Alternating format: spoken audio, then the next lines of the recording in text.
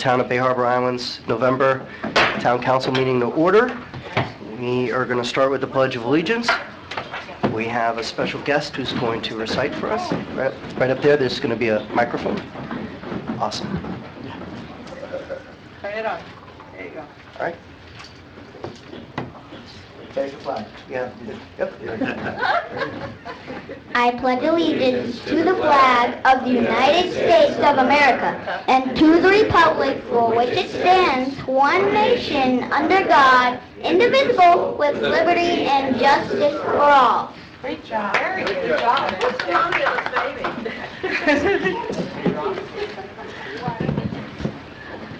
Hold on, honey. Oh, hold on, hold on.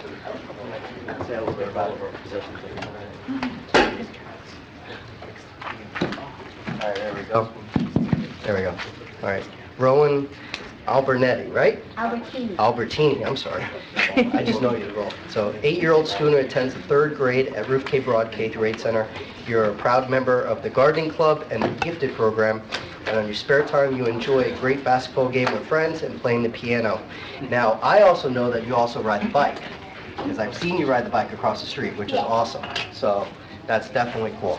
And as a small token of our appreciation, I want to give you this certificate of appreciation for reciting the pledge. Thank you so much. Are you at Bay Harbor? Awesome, mm-hmm. awesome. We're gonna take a picture. There you go. Whoa, hold on.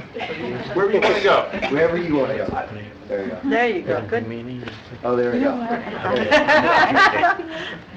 Okay, on three, one, two, three, one more, and three. Great. Very much.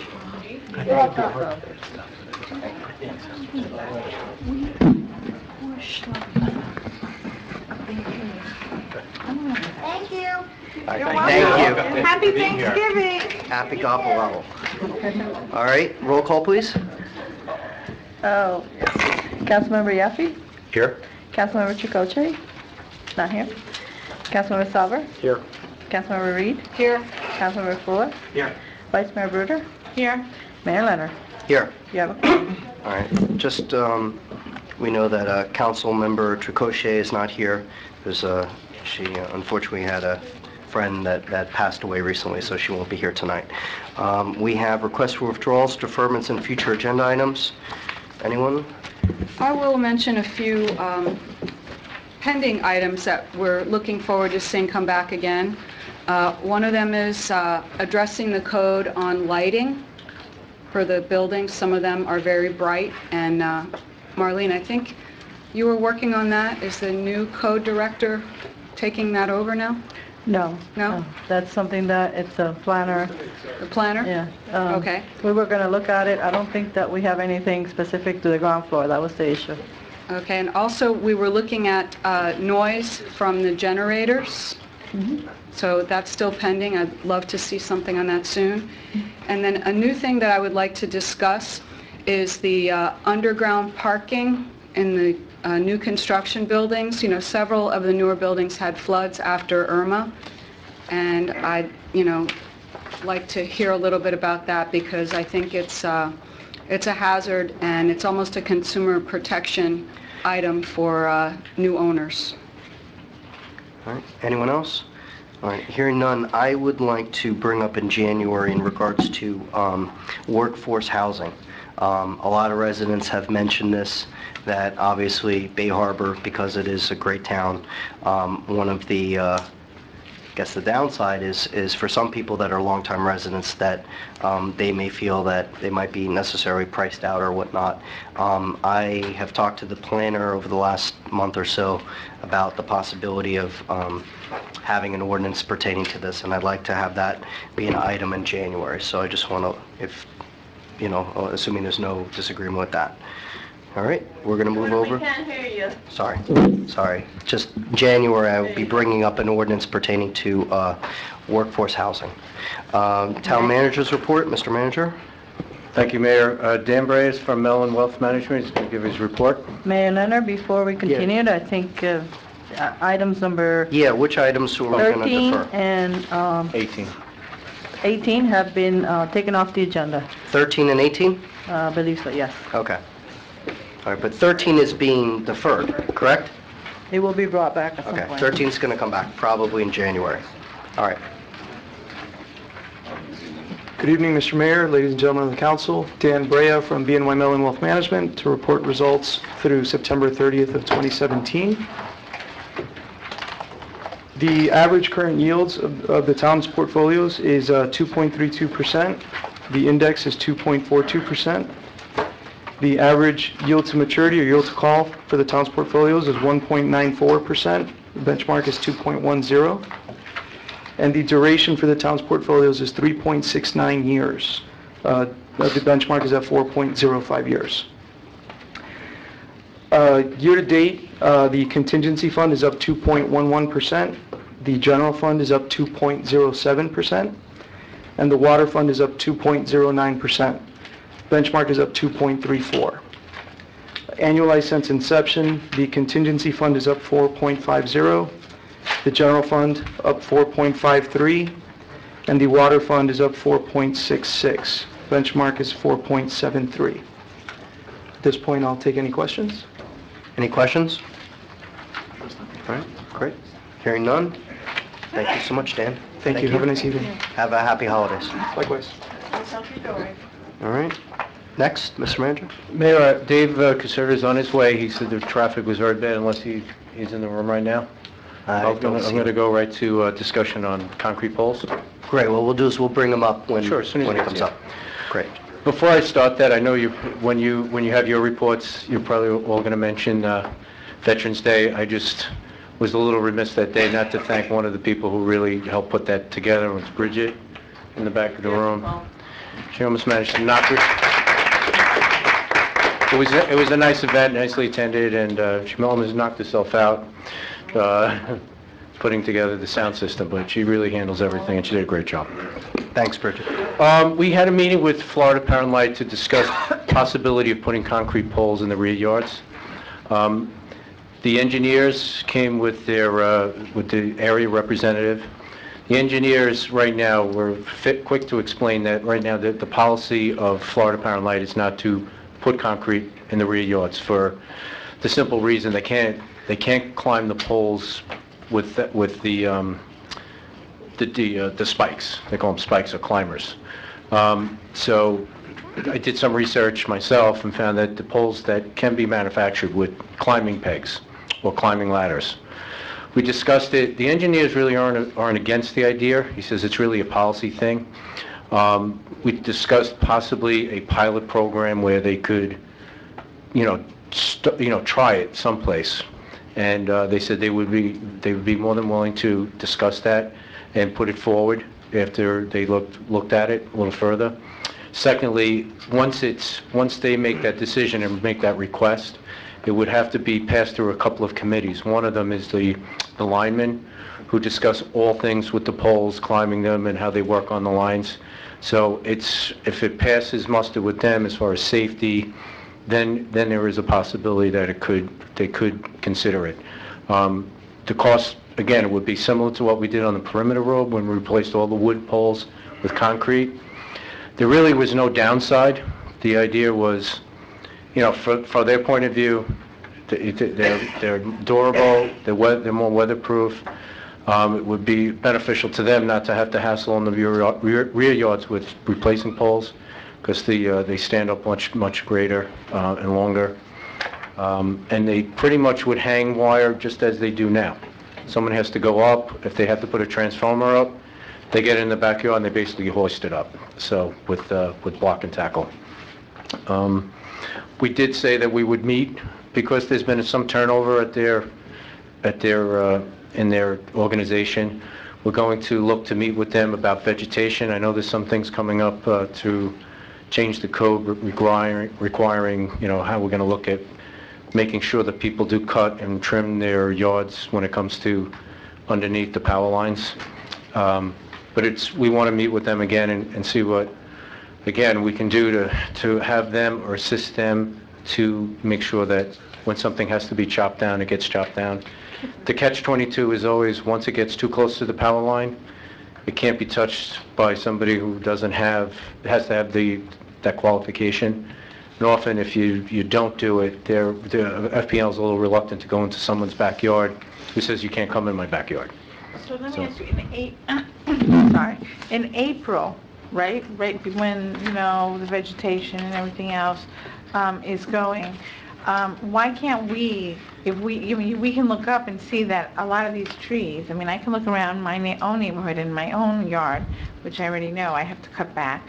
I know we need, you know, we need to cut back. If we could have maybe the people within our town in April start to tell them, and then we can go back in May, and if they, by that time, if it's too high already and it's into the wires, let's tell, you know, FP&L in May, giving them plenty of time before the hurricane season really hits us, so that when the hurricane is actually upon us, maybe we have a better chance of not having as much damage as I would agree. The, some of the palm trees, even if we prevent people from, you know, with a lot of the new construction, we're not allowing that kind of planting to go on.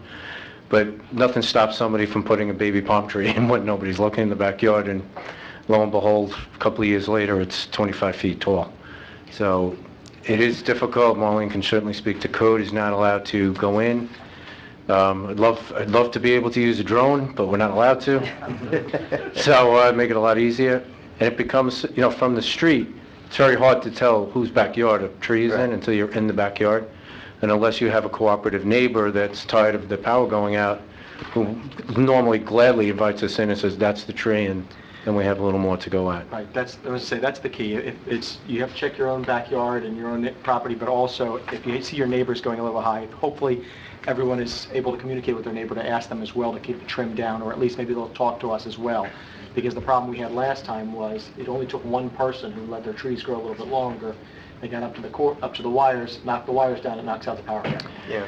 It's always good, it's, it's your, it's the weakest link, you know, you could have everybody do everything right, you just Only need takes one one. person. Right, Ron? I'm sorry. Um, A couple of weeks ago, FPL sent in crews along um, the perimeter streets, at least on the West Island. I I don't know if they were on the East Island as well, and they cut back a lot of the royal palms, you know, um, pretty well to keep them out of the, right, to keep them out of the power lines. They did leave a hang tag on somewhere in my property, and I had mentioned that to you, JC, but um, it wasn't clear to me whether they plan to come back and go into rear yards, or whether, you know, they, ex- and I have no problem calling, um, or whether they were asking the individual, you know, property owners to call them to come back, and whether... I'm not sure, I'll find Come out. back. So I was just curious about that. It's, No, no, it's fine. I just, but I thought maybe if you find out some additional information, we could put that in the, um, in one of the town's newsletters and on the website, contact information so that if you are Yes. concerned about, you know, trees and overgrown foliage in your own backyard or on your own property, there's a Right. contact number to invite FPL in to do some trimming. It's a ca- they're really, they're very sensitive to public, public uh, comment or public, you know, what people say about them. They have the right to do it, but they often don't exercise it. Right, right, but if, if we're telling our residents who to call so that they can have them Yes, come absolutely. in, because if FPL was only concentrating on the perimeter, which I understand, because Yeah. some of those ro- large royal palms have knocked out power repeatedly. Yes. So I'm glad they trimmed them, but I'd like them to do more. Um, One thing that did come of the hurricane, when they were reviewing, um, especially on the East Island, they're removing, I'm sorry, they're, uh, they found that a lot of the laterals that service the interior lots were overstressed, particularly here where you would have one lateral that was serving three streets. So they're splitting those off now, so similar to the water system where you put extra valves in to, to isolate a section, that'll be occurring. It's gonna take about five months to do, but they're gonna be really trying to narrow it down when, it- when, it- when you do have a problem. It'll knock out less, less, um, less homes or less, uh, accounts. The, I don't know if you noticed, the underground, not the under, well, the undergrounding between the east and west island, that's, that's operational now, and they just started to take down the gear overhead. They topped the poles. Um, But part of that whole updating was to really, they're servicing the town now with two, two ways that we're getting electric from uh, two, two, two separate circuits. So we don't, in the past, if Miami, if Miami Beach went out or the feeder from the beach went out, it used to take everybody. Now we get the power from both ways, and it's a redundancy that they built in part of that project. So um, that, that was a positive thing. And um, they're putting in more automatic switches, so if a palm frond does come down and hits the wire and knock, and does a short they can, tur- it'll automatically come back and res- restart itself. If The palm frond stays there, it's not gonna, it won't close, but these are just some of the things they're doing now. Will now. these updates be completed by, before next hurricane season? February? February? That's what they're telling you? Yeah. February? Can we, in like, do you remember years past, we used to have Hurricane Preparedness Committee, and we used to have that little booklet that told us all the things of what to The do? disaster Is preparedness. that right? Yeah. I think that maybe we should have in either July, you know, like a check, almost like a checklist for everybody. You know, get your batteries, get your water, you know, check, like, if we could put that into the newsletter, like, uh, just as a removable piece, so that people can stick it on their refrigerators to get themselves I find, ready. I find that the postcard mailers are very effective because Yeah. they don't get them regularly when they come. They tend to read them, so we could do that too. Whatever way Yeah. you want to do it, so that we can, you know, get our citizens ready in case we have another hurricane. All right, great. All right, we're going to move on to the council reports. We'll start on the end. Josh? Okay, I'll try and keep it quick because we have a long meeting tonight. Um, First of all, happy holidays to everybody as we enter into the holiday season. Um, I, was- over the last month, I was over at the farmer's market a couple times. First of all, anybody who has not visited it, it has been wonderful. It is growing. Please visit it. It has become a nice success, and it's right off of Kane Concourse now, right in front here on uh, Bay Harbor Terrace. Uh, The Veterans Day event was fantastic. Bridget, thank you. Ron, thank you. Everyone, thank you, and thank you to our veterans. Um, We had a good turnout, and it was really a nice event. Can't hear you, Josh. I apologize there. Sorry, I'm getting old. I'm getting Uh, fat. Pizza with the cops was, again, and this was Kathleen, this was your, your baby, so it worked out nicely. But uh, the Pizza with the Cops was a nice event. I encourage everybody to keep on coming out. We really need more and more people to come out and take advantage of this event. We do this regularly. Kathleen, I'm sure will tell everybody about it every time. Um, But make sure you come out. It is a great opportunity for you to learn a little bit more about security in Bay Harbor and to meet your officers. Uh, And finally, I attended the Miami-Dade County League of Cities uh, um, Board of Directors meeting. And again, wish everybody happy holidays. Great. And Bob? I wish you all a happy, happy holidays as well. Um, I was at the Miami-Dade League of Cities meeting uh, earlier this month. Bay Harbor was one of the sponsors. Uh, This month, we get the opportunity to do that, um, you know, once a year and, you know, talk to all of our fellow elected uh, officials in the county about how great Bay Harbor Islands is and some of our neighboring communities as well. So that was a great event. Thank you all, you know, to the town administration, Bridget, Ron, Arlene, everybody for putting on the Veterans Day uh, ceremonial event on um, this past weekend. And I thank all of the veterans who came out, and Ron, I I appreciate you recognizing all of our town employees uh, who are veterans not only in the United States, but who have served in military elsewhere. Um, As Josh said, the farmer's market uh, has been much improved this year, particularly, you know, now that it's out on Kane Concourse and in front of Town Hall. It's a great event, so those of you who haven't had the opportunity to come out, uh, please do so. Um, You'll see some activity on Kane Concourse, there's a couple of new businesses that are getting ready to open. Looking forward to that, Chocolate Chop down the street and uh, some other businesses, so um, look forward to that. Uh, Start looking at a lot of our businesses as the holiday season is coming up and hopefully, you know, frequenting and shopping in some of our businesses on Kane Concourse. Thank you. Great. Stephanie? Also, I want to wish everybody happy holidays. I want to let you know as well, the chocolatier should be open hopefully by December. We also have a new Pilates, um, That's right. After the chocolate. after the chocolate or before the chocolate. You know, it's the holiday seasons, but we have a new Pilates studio in town, um, and they're running a special at the moment, so please um, take advantage of the special that's running. And, you know, um, the Bay Harbor Drugs also has beautiful gifts for teachers or for anybody that you need. We really, you know, would love to have you guys, everybody support the uh, merchants within the town, you know, buy gift certificates or actually go in there. You'd be surprised of all the wonderful things that you can find within the town. Um, That's it. Thank you. Great. Kelly? Uh, Since the last meeting, I too attended the uh, monthly League of Cities meeting and the Pizza with the Police and the Veterans event, and uh, they're all great events for us to network and learn. And uh, I also am uh, one of two council members. Councilmember Salver and myself serve on the pension board, along with three employee members. And uh, I'm the newest member. I've only been on plus or minus a year. But our consultant made a statement that should make everyone very happy. And he said that out of the 24 plans that he administers, we were the only one to beat the actuarial assumption, which means that due to, not my doing, but my uh, colleagues and Mr. Short, our finance director, many, many years of disciplined, conservative portfolio management. So you should be very happy to know that out of these 24 plans, that Bay Harbor is setting the benchmark for others. So that made me feel very good. Great. Isaac?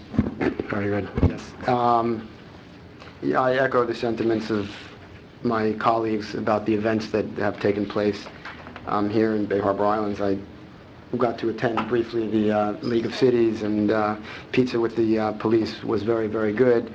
Um, Just to mention something that took place there, there were, you know, we had a a little group of teenagers there, which was um, uh, very uh, enlightening and and very um, I guess, heartwarming to see them come to an event like that. Um, They participated and uh, they shared experiences with us, and I I know that I definitely learned something and uh, from from what they had to add, and I enjoyed spending time with the with the police, um, both the leadership and the rank and file guys.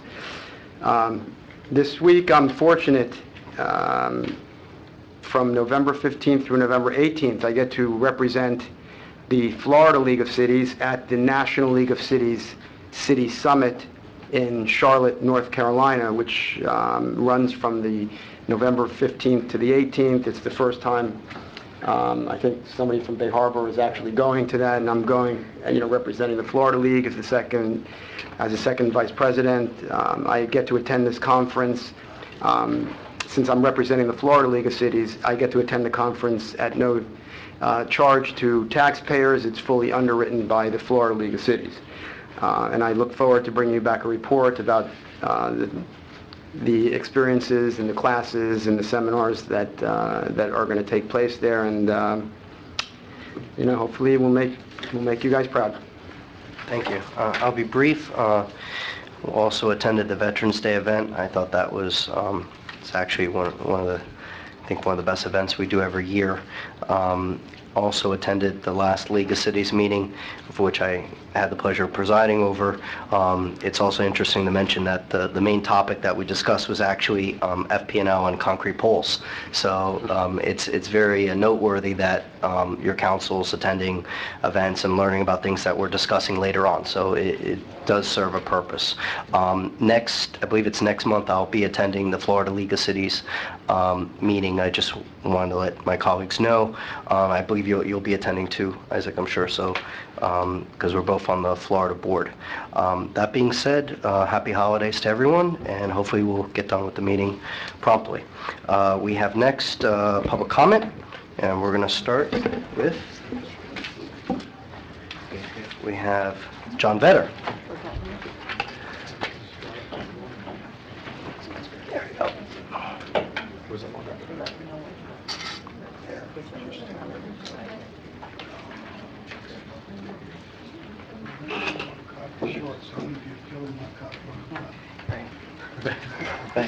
And for those of you who don't know, um, public comment is any discussion item that is not on the agenda. You get three minutes for specific items on the agenda.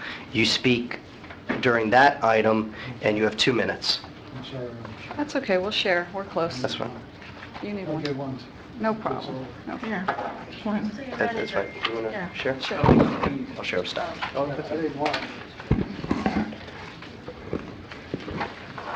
Uh, John Vetter, 10350 West Bay Harbor Drive, uh, Bay Harbor Islands, Florida 33154. This is my first time being here since Irma, and I wanted to thank everybody for when we came back after it was over, it was like nothing happened. Uh, I'd Also like to thank the police for going around with their bullhorn, telling everybody to evacuate. We evacuated. Um, some of our neighbors did, and we saw brown water come out of their exhaust pipes. Okay.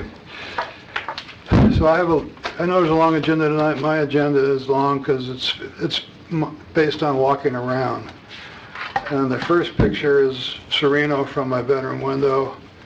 Um, I've raised this a number of times. I keep being told that they're going to lower their lights. but nothing more specific than that. I asked who's been held responsible for this because the town approved it, and I get no answer. Um, The code remains the same.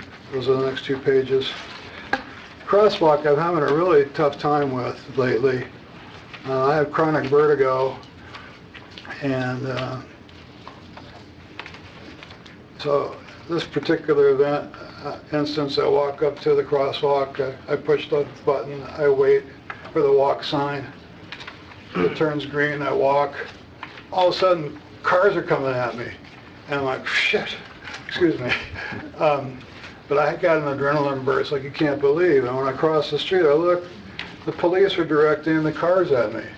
And I'm like, what the H? Um, then After the two police pictures, there's like a Porsche Cayenne. Again, the same thing, I push the walk button, I step in, I go, ole, his window's down, I'm like, what are you doing? He says, I have to make a right turn. I'm like, I have a green walk sign. Um, Next picture is of cars in the crosswalk with guys trying to cross. Uh, Sometimes when I take their pictures of them in the crosswalks, they get mad at me. I ask them if they'd like to go over here and talk it over with the police station, it's right here, and they always refuse. Um, This light at West Bay Harbor and Kane Concourse, you you- you can't even see it, you can't hardly tell if there's a light there or not. At West Bay Harbor, the- this building construction project has covered up the walk sign, uh, the button, and I can't even get my hand in there to push it because it's on the other side of their construction fence, and I don't know how uh, a company gets to take private property. Um, It goes on and on, but it's pretty self-explanatory with the pictures, and I appreciate uh, Mr. Vedder, my just, three minutes. yeah, even though your time is up, I strongly recommend that, that why don't we take one of these and our code compliance director and our chief of police are here. Maybe you should have them take a look at it and address all these issues one by one because obviously you can't, yeah, well, and that, I think that would be appropriate.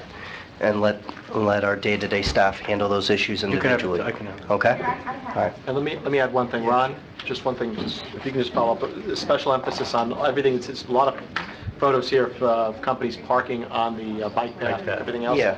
That's Okay. something we have to make sure we're Yeah. stopping immediately. So they can, they can deal with that. All right. Thank you so much for your comments, Mr. Vedder. Thank you, Mr. Vedder. Next is Kathleen Kenny. Good evening. Good evening, my name is Kathleen Kennedy at 9180 West Bay Harbor Drive. I'm here to give compliments. I want to thank Josh, Bob, Jordan, and anyone that, oh, uh, Stephanie, for listening to me over the weekend. We're not going to talk about it tonight because there's an issue coming up tonight that's very dear to me. But first of all, I want to thank the great job that uh, was done for veterans. Patrick, you got a sunburn. You did an amazing job. Sean, Ron, the staff, Bridget, amazing. Hopefully, as the mother of a colonel, West Point graduate, next year, I sat with the chief today, we can do some things with real soldiers jumping out of trucks or whatever and make something nice. I've tried to do it before, but uh, for some reason it doesn't happen. It'd Be nice to see soldiers parading down our streets and talking to our children. Okay, my daughter wanted to do it one time, but communication broke down. So, you know, let's do it. She has gone to the school. She has done mentoring in with Dr., with, um, what's her name? Oh, shame on me, Dr. Rodriguez. Rodriguez. And um, she's going to meet with, uh, with Mr. Saperstein. And um, this is what we need, mentorship with our kids. So hopefully next Veterans Day, we'll have them big old green trucks out there and we'll make this town the best town it's ever been, which it is now. But thank you, thank you, thank you for reaching out. And I know sometimes my phone calls are not always the greatest, but I have a lot of respect for anyone that returns a citizen's phone call. Okay? There's a- there's somebody here, somebody that's not here, but I'm not going to say anything, but I'm a little disappointed. But thank you, and um, happy Thanksgiving. I'm out of town, so it's going to be peaceful. The flowers are beautiful on the Kane Concourse. Ron Watson, you have done one amazing job. I can't wait to see the Christmas lights. It's beautiful. I'm so proud of this town, you have no idea. Thank you. Thank you for your comments. All right, next we have Francis Newhut. Is that, there we go. Francis Newhut, 1060 Kane Concourse. Is it? Okay. Since council has not allowed public discussion on either Planning and Zoning Board Church by the Sea site plan approval, nor alleged affiliation with the BDS movement, the following time frame may possibly link Bal Harbour Shop's 200 million expansion and our small town being destroyed, our restaurants and retail. Um, March 2004, Bal Harbour Church by the Sea acquired Bay Harbor Islands Church by the Sea at 9601 East Bay Harbor Drive for future growth. April 2005, council upzoned the gateways uh, on East Bay Harbor Drive from 65 to 75 feet BFE, directly benefiting Church by the Sea. April 2014, hotel developer purchases 9601 East Bay Harbor Drive, Church by the Sea, their three lots for $12 million. Um, November 2014, Bal Harbour's Church Board approves demolition. 12, 2015, Bal Harbour Church torn down for Bal Harbour Shop's $200 million expansion. There was a battle between Historic Preservation Board and the church. January 2016, Bay Harbor Town Planner approves mixed use on the property at Ocean Cadillac. February 2016, Bal Harbour Shops purchases torn down church by the sea, which is 27,000 square feet for $30 million. February 2016, Bay Harbor Island government passes anti-BDS movement. May 2016, P&Z Board, uh, they motioned to defer the site plan because in the code, it did not allow, it only allowed 100% retail on the ground floor. On June 2016, Bal Harbour government passes anti-BDS law. On June 2016, Bal Harbour's Church by the Sea purchases Ocean Cadillac, their eight lots for 20 million.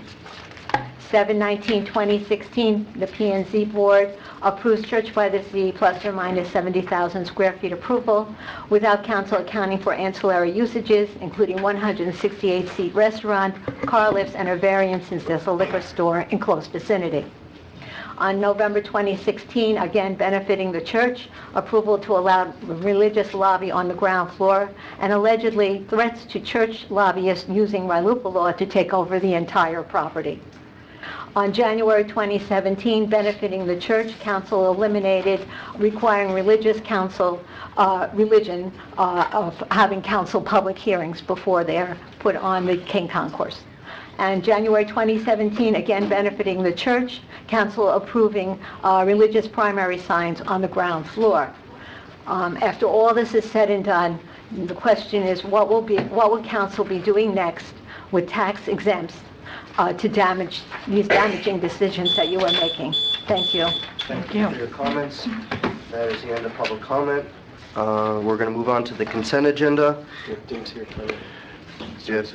I'm sorry? Oh, Dave? Dave Kazar is All here. right, Dave, you want to, you want a minute, or you want to, you ready to go? Listen, I've been out of breath before. All right, all right. Here, you're up. Thank you. How's traffic? It is horrible, I was a... So it's normal? Yeah, well, I got two accidents instead of one, so that was Okay. good. All right. Thanks. Good evening, how are you, Mayor? Good evening. Members of council, and wonderful citizens of Bay Harbor Islands. I, thank you.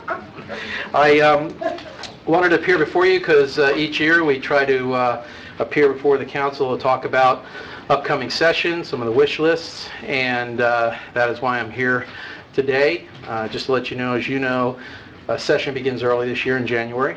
Uh, So we're right around the corner. We're going through a couple of committee meetings now, and a couple of the bills have already been uh, set up. So just, just to let you know, and- and following this, I'll have a report, uh, talk about what we talk about today, so you can review it and peruse through the issues and a lot of the issues, I'm pretty sure I know where we stand. Uh, We work with the Florida League of Cities, as you know, and uh, we try to do a good job. Everybody bands together and try to prevent a lot of uh, harm uh, that could be done to municipal government up in the legislature. But a couple of the bills that have been filed already early on, which are, you know, want to look at and want to review is uh, local government transparency uh, bill. Uh, it- It'll revise the legislative auditing committees, it'll uh, fiscal transparency requirements, local governments to post certain voting record on their websites and other things. So I'll get you a copy of that bill so you can take a look at it. We'll get it through the uh, village, uh, this town manager and uh, We'll we'll take a look at that and see if there's anything in there that uh, disturbs any of you or or is of concerning, and we'll we'll go ahead and and deal with the legislature on that. Second is House Bill 9, which is a federal immigration enforcement bill.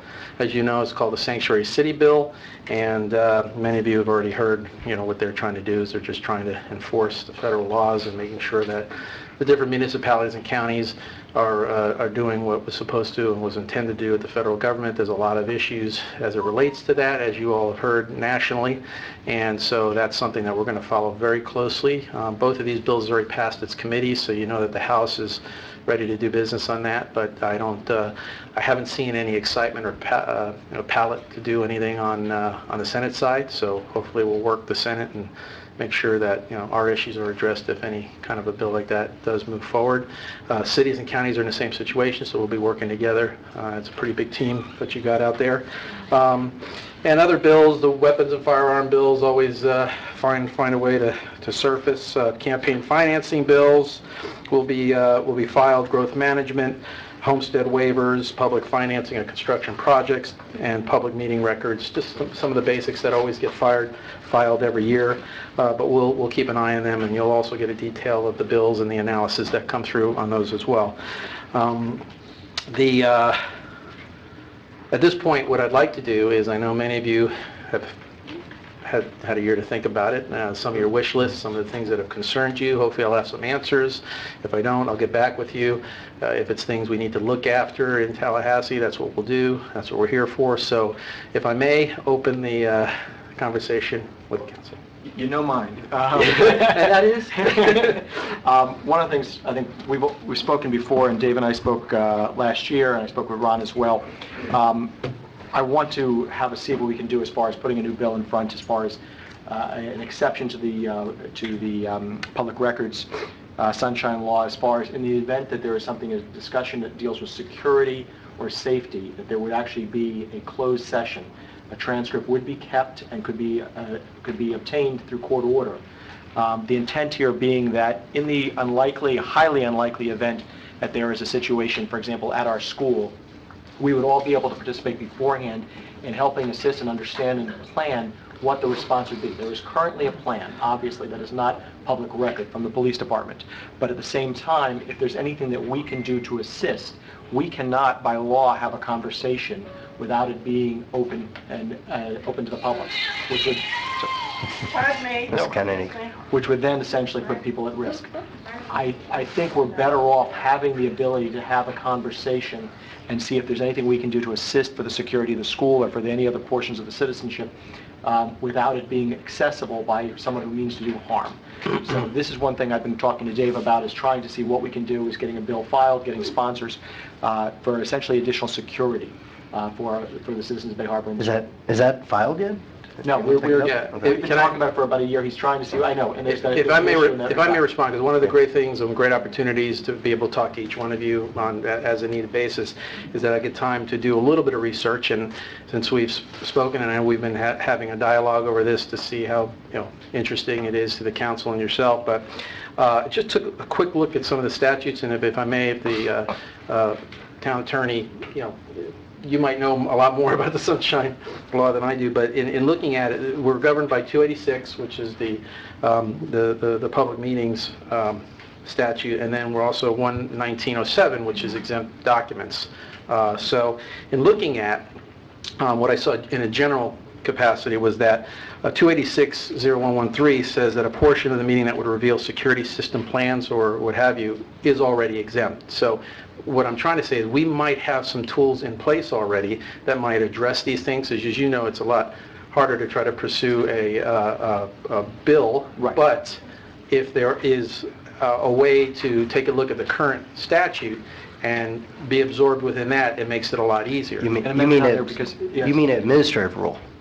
Well, the Is that issue, what you're- yeah.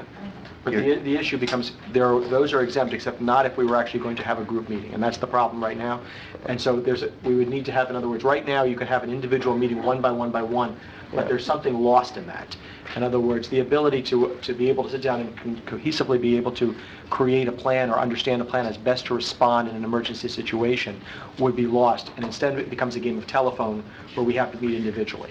So by being able to have it as a group and obviously protect the, protect the public by having public records available if there is a real reason for that person to have a record request uh, for that specific meeting. You have a transcript, but it would be an in-camera inspection with a judge if they need it. That's so if that they, that's if they, uh, yeah, uh, challenge the, uh, the public uh, denial. If somebody, if somebody says, I have a purpose that I need to have the public record and that dealing with security, in, in what you and I have talked about, so that people understand, we're not trying to hide anything.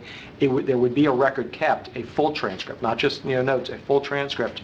But the idea being that if someone has a reason for it, they can go in front of a circuit court judge and ask for it to be released. The judge would take a look and see if there is a real reason for the public to have uh, access to what our plan would be in response to any. And, and they would do that under any condition. In other Right. words, even if we created a specific, s- you know, scenario for this, that, that would be probably Right, one, and that's the, right. that's the, that's the defense for the, yeah. But, but 119 does, does say that um, it, it does address security, so, and, and these are all security, so in other words, if we have a security plan that we're putting into place here, under the shade uh, meeting, I think you, you can possibly have whoever is intended to be there in that meeting, council, manager, pol- uh, police chief, whoever it might be that's setting up that program, can meet uh, without uh, public Where, but we were talking about that, and, and it's right now, unless we find some other way around it, the understanding is it would have to be individual as far as elected officials. That's, that was the problem. So we were, not- we were, we were, we were talking about, it. so unless we have some way that we, we're actually able to all meet, I then thought, then great. I, I... Well, why don't we do this? Why don't, Well-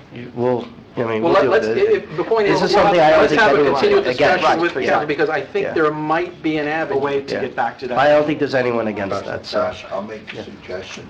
I'm going to get together with Dave when I, ca- whenever we can mutually meet, see if we can accomplish the purpose by amending uh, uh, one of the provisions to, instead of a new bill, as long as we accomplish the That's same. fine, as Is that long as we okay get to with the you? same purpose, right. Dave? That, that's fantastic. And, and down the road, if we have to do a new bill, we will. But then there will be a, s- a- a tremendous process that has No, to I be followed. understand, that's what you and I talked for about. Yes. We'll give you input. and then- Any other issues? Yes. from Kelly? I don't know if you were going down the line or... Okay. Um, Dave, I was wondering if... uh, Yes, sir. uh, A Hou- a House Bill 17 type bill has been introduced. This was the anti-home rule, home rule bill last year, wh- which was being pushed in the House to try to take away a lot of municipal powers. um, have, and have not shift seen them. that yet, not, not to say it Okay. won't come about, you know, they, they have a Right. lot of uh, bills that they, uh, they keep as, uh, as bills that they try to put things on a little Right. bit later, you know, just to have them Okay. there, so yeah, but if anything surfaces, And what about municipal elections? Last year, some of the legislators tried to interfere with uh, municipal election dates for municipalities. Are they at it again? Well, there, there are a couple of, uh, of bills that do involve, um, hmm, let's see here. Bless you. Public records, voter registration, public financing, uh, homes- meeting, I, s- I saw a couple that might deal with uh, elections, um, You're posting the results. yeah, and, and, and and what I will do is, is update those, because I, I get them all the time, so I'll get ahead and put that in my report following this, um, but, uh, you know, just to, It'll so pop you'll up. have the information. It'll pop up, And then finally, there was a bill last year, I think it was in the House, that was dealing with financial disclosures from, you know, elected, local elected officials. Is that resurfacing? We, no, we have, I know we worked As on that yet, tremendously, yeah, no, I haven't seen that yet. Um, oh, any, anytime any of those pop up, those are red flags for me, based on historical, you know, data here, so, um, I will certainly, um, advise Thank you. everyone and Appreciate that. comments. Anyone else? Kelly? Yeah, I'm very passionate, as you know, David, about um, protecting our right to regulate uh, short-term vacation rentals. For those of you who don't know, since 2011, the state of Florida has uh, preempted our ability for any little cities that didn't have ordinances on the books. So our West Island had already been protected. So uh, on the East Island right now, we have the best ordinance that we could possibly have, but it just doesn't have a lot of teeth. So we would like to get our authority back and our home rule, and I'm sure most of my colleagues agree, our home rule heroes here. Yes, ditto. It's kind of funny because normally, as you know, every year we work on this, we always see a vacation rental bill pop up. Right. I have not seen anything, you know, major yet, uh, but, but if I do, we'll, we'll take a look at that. I think it was some wise man who said usually they go after it every other year. Yes, yes. yes. So, but we need to stay on that. And uh, our special counsel, Susan Trevarthen from Weiss Serota, she's kind of an expert on that. And I see her at different events, and, uh, you know, she's really following it. And we also have different seminars at best practices and other things. So that's one thing that I'm really keeping an eye on, because we need the ability to regulate that. Absolutely, absolutely. Yeah, And You've done a fantastic job staying on that issue, so. David, last, ye- um, it wasn't last year, well, it was, no, it was this year. Um, I guess before summer, I attended um, a meeting in North Bay Village that was sponsored by Senator Garcia. And it was narrowly focused on um, SIRAs. uh, On what? Condominium, SIRAs. CRAs, okay, SIRAs, uh. Community, you you know, whatever that stands for. Condominiums. And um, he spoke about a bill that he was, um, I think it was, he was partners with uh, um, um, Pepe Diaz on. Yes, but he was the uh, House uh, sponsor. Right, um, which I think was a very, very good bill that forced uh, condominium associations to be a lot more transparent. Yes. I think it raised the bar on financial reporting for condominium associations. Major. And actually uh, recommended that there put some teeth into some of the uh, the statutes relating to their uh, non-compliance with the, you know, with the regulations that are on the books. As well as Um, conflicts of I interest. encourage, you know, I think the, the residents of Bay Harbor Islands could definitely benefit from a bill like that passing. So I urge you... Well, just so you know, it did pass did last pass. year. Oh, it did pass? Yeah, Right, and the, the problem with that bill, though, because there's a lot of glitches.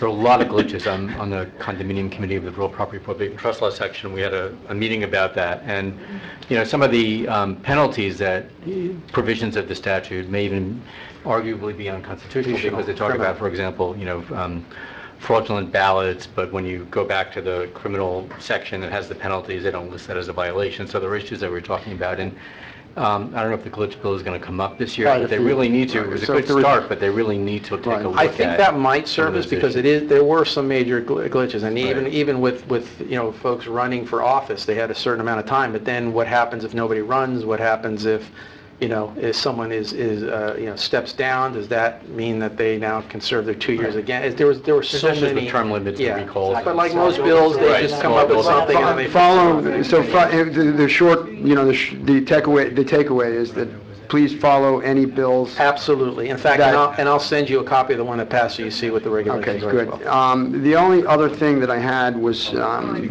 really uh, emanates from my uh, serving on the Children's Trust uh, Board. Um, Just recently, the, uh, the Value Adjustment Board has assessed or began collecting a fee from the Children's Trust, which, which is Miami-Dade County Children's Services Council. And um, it just coincidentally, the school board, which also has been paying the fee for about 35 years, sued the Value Adjustment Board um, for uh, you know, for actually assessing that fee against the school board, which statutorily, they had no right to, ass- to uh, assess and collect. Um, And I've been speaking to legislators that, anybody that will listen to me, um, in efforts to get an amendment to the statute or um, some type of new statute that would also include Children's Services Council in that exemption from, um, you know, a fee being collected by the Value Adjustment Board because it costs the Children's Trust uh, about $1.2 million last year, and it's going to cost us again about $1.2 million this year, and we hadn't paid it since inception. And, you know, everyone's throwing up their hands and saying, hey, you're lucky they didn't go back and collect, you know, this fee um, retroactively, but I I don't, I don't think it was the intent um, of the statute just to exclude school boards. I I I think at the time that the statute was probably um, passed, uh, it was intended for, um, well, it was intended for schools, obviously, but I don't think at that time there was even such a thing as uh, children's services councils. So I I don't think it's a huge fix, but I think a small, you know, wordsmithing of that statute could save children's services councils across the state um, uh, tens of millions of dollars. Yeah, that's something that we certainly can look at right now and take a look at if there's any bill that, you know, an amendment like that could be, you know, put to, we'll we'll work on language, we'll work with yourself and the manager. Right, and I I think actually the folks at the Children's Trust are putting together a letter. Oh, okay. um, A little narrative on exactly, you know, what, you know, what the problem is and how to fix it. Then we can get the guidance to support them if, uh, and when they come up with language that would, would do that. All right, the only other comment I have is, bring us money. Yes, right. I, Bring us uh, money, it's been a long time, David. This is the year to do it. It's been a long- Has it really been a long time? Yeah, it's been, it's I been... mean, actually, it's been a David, I long just time. have to interject that David has served us well in, in, in getting us appropriations. Uh, The problem is Governor Scott, who line Well, item but not vetoes every- them. Yeah, So we've- For, not, not just for Bay Harbor, Well, but for Well, I I think we might have colleges. even been able to work some money out even outside of the, uh, of the process too, Right. that, that we had, I think, at some point. So, I mean, we're, we're we're always trying to make up where I didn't, Right, but the governor was vetoing Yes, not only he- for he- municipalities, yes. but colleges and universities. Yeah, that's and correct. All over, But this is projects all over the state. It's election year, so I think he's going to veto a little bit less. Yeah, we'll- uh, yes, we'll see. we're get it on hoping, there. yes. We'll see. Well, uh, I'll be brief. I mean, uh, in the save our time, because we, uh, we're running a little late, um, I'll give you my, my little cheat sheet later, because, you know, I could probably spend the rest of the night talking about the ills of the legislature, so. Um, But um, we've spoken several times between now and the previous session, so, and we'll continue that. And of course, I'll be up in Tallahassee a few times, fighting um, to keep us back to square one, I guess. Uh, Unfortunately, for those of you that don't know, unfortunately, our legislature, um, sometimes we have to fight just to get back to where we were from the previous year. So, and that's unfortunate. So, that being said, thank you so much, Dave, for, for coming, and we Happy will- holidays. Happy holidays. Thank you very and much. I'll see Thank you, uh, I'll probably see you before the holidays, Well, actually. well, just, just for the Yeah. record, because I have to say this, because I'm so darn proud of my daughter. Yeah. Uh, She was the cast as one of the lead singers for the Radio City Christmas Spectacular this That's year, right. so Congratulations. That's right, So- that's right. congratulations, Marilyn, shout out to her. Absolutely. Thank you so right, much. take Thank care. you. Good night, Dave. All right, we're going to move on to the consent agenda. Um, Hearing no, nothing pulled. Can we I'll have- move it. Got a second? Can we have a poll vote, please? Sorry. No, it's okay.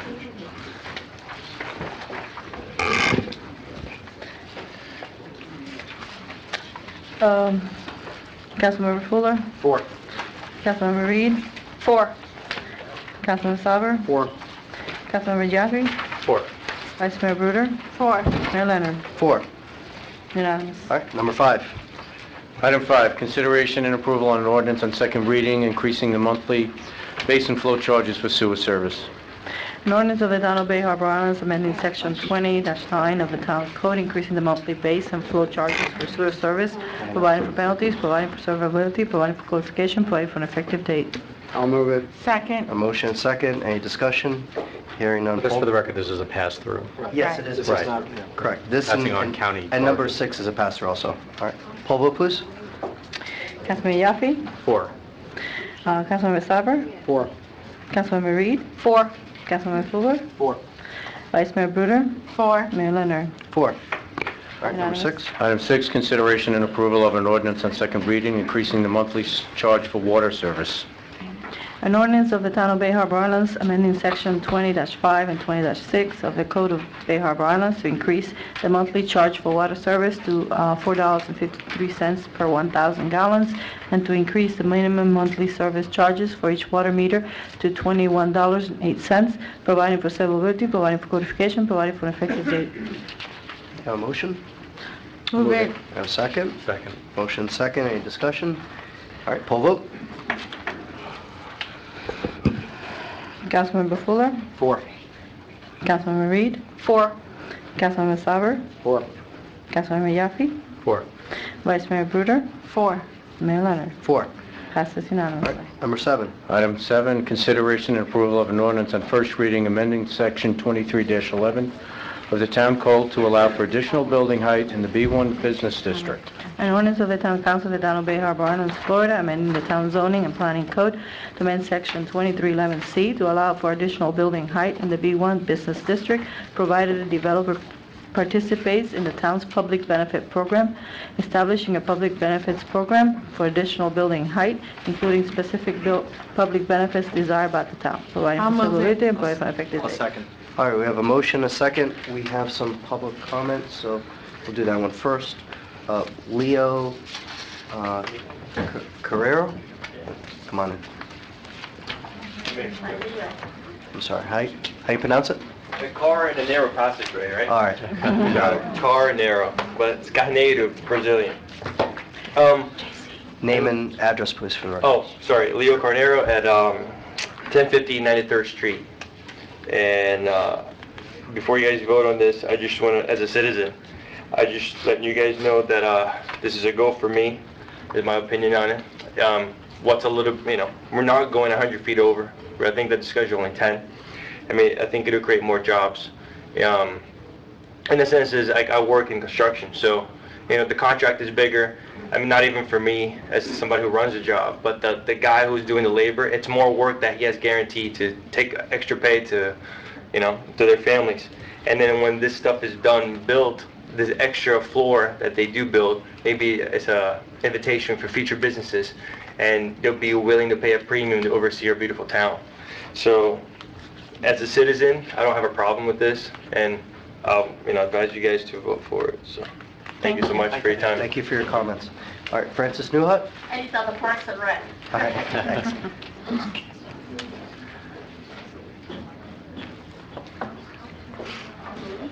This is number seven, right? Number seven. Seven, yes. Okay, um, this is about putting, um, this is the business district with that new development on the Kane Correct. Concourse, correct? Correct. Okay. Um, first of all, I It's not, it's not for that Applies to- specific, it's for the entire business district. Hi. It's not for any specific For your project. Oh, property okay. as well. But Right. um, what's happening now is, um, we do have, okay, the business district is 65 feet. The gateways on East Bay Harbor Drive, which I mentioned before, you gave to uh, the church, you upzone that, so that they can sell their property for 20 million, and, uh, or 12 million. Um, The property on, of uh, Mr. Talber uh, was 65 feet, that's commercial. You upzone that to 75 feet. Um, Now, I'm in the business district, and I put in a site plan for the business district because it was 65 feet, and everyone told me, well, eventually it would be 75 feet. So there is some kind of going on here, because this property, if you put unity of title to it, uh, you have one gateway there that's on the residential, affecting all the uh, houses on the other side of the, ba- of the water there. And um, we already went through this where uh, they did not on the comprehensive plan, and it's increasing intensity on that particular space there. I know we don't follow the comprehensive plan anymore, but yes, it will be uh, very, first of all, they're putting another floor. We have no more parking. Hello? There's no more parking. They have to put everything, if they add a floor, they have to put it on top or in, in the, in the property itself. So now, um, you've got 75 feet, you've got it on uh, Gateway, which you promised us a waterfront, and now we have the problems of, uh, of everything, uh, even usages, these usages that you are putting in. You mentioned affordable housing or workforce housing, which has been um, on the news every day, people going to jail, hello, and now you're going to put it in our town when we're selling million-dollar condos. Uh, I don't, I don't get it. I don't get it at all, that we're, we're bringing down this town. Thank you for your comments. I have a request, Jordan. Um, Perhaps you want to have Mr. Miller go over this, and we were handed uh, an addendum late, and uh, specifically mentioned the rooftops, roof- rooftop structures in 2312, so maybe... You uh, can have Mr. Miller, after we finish Yeah, public let's finish comment, I think it would be public appro- comment. appropriate for him to go Then he can over- address all the comments. Yeah, I mean, I, I Okay, think that would be fine. at some point. Sure, sure. Um, I'm sorry. Who would that be? Yeah. Intruder. Harry, Br- oh my God. Harry. Did you recognize Should your have, handwriting. should have been a doctor. Harry Bruder, 1281 94th Street. Um, As you know, I've been t- talking about, I've been pro-development for 23 years, and I've never swayed from pro-development. Um, Over the past 23 years, I've been not always right, and uh, on certain issues uh, with development, with the height uh, going to 15 stories, and I commend you guys for fighting me pretty tough with that one, and we, at this point, we have probably the nicest town in the state of Florida. I mean, the way we, we, uh, just it shows you the, the development from the, from the way the, hur- we recovered from the hurricane. It's just a, it's just a trickle-down effect that new development's always gonna be the best for the town. And, you know, as far as this is concerned with, you know, you know, working with the developers, I don't know, I'm in business a long time, I think I'm pretty successful, and, uh, there's no guarantee a developer's gonna, gonna make money, you know, and he's gonna be successful. We need to work with these developers, and, you know, the Kane Concourse has been a sleepy thing, a sleepy place for, since the day I walked in here, and probably 30 years before that, and I think it's the time, because with the new construction and the socioeconomic situation we have today, we could wake up this, uh, uh, this Kane Concourse, um, and in another way, it trickles down also, the success of every business and every building and every office building and every retail building and everything that happens that succeeds, you know, I don't like to say it like this, but it does bring more money for the town because it raises the taxes and the property, the properties go up. It's just simple math, you know, simple, simple business. And, you know, when people succeed, we succeed. And uh, that's where we have to, that's the way we have to look at it. There's no other way to look at it. If he succeeds, we succeed. Everybody succeeds. And we all become winners from people succeeding. And I don't have a problem with seeing nicer restaurants, nicer retail. Can I get another few seconds? A few- few seconds.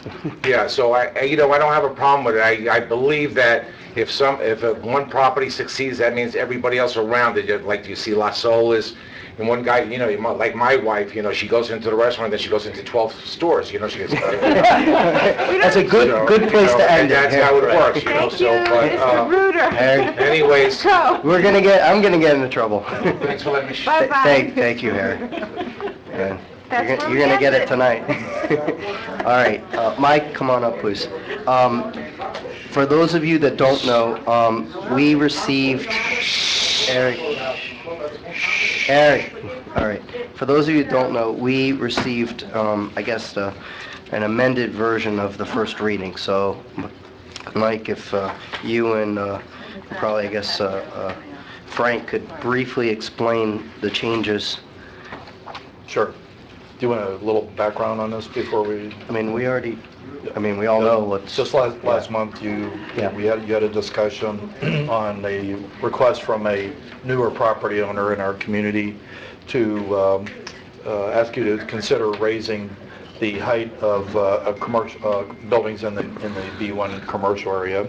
The, the reasoning was uh, primarily that to uh, facilitate a Class A kind of building, uh, you need t- a little bit taller floors for the office space, and for a retail component, generally, you want to at least 14 feet on your ground floor uh, for the store uh, operations and the, you know, the displays and so forth. Uh, When you do the math equations, they felt that they, um, uh, a little bit taller height would, would um, allow them to achieve what they wanted to achieve, which is one more story to the, to the complex. Um, We, you know, about a 15 years ago now, some years are flying by, we, the community had a series of visioning sessions and design charrettes. There's a couple uh, consultants came in, there was consensus. We rewrote the code about 10 or 11 years ago now in the B1 district. And uh, one of the consultants said 65 feet, one said 75 feet. The council at at that time decided 65 feet.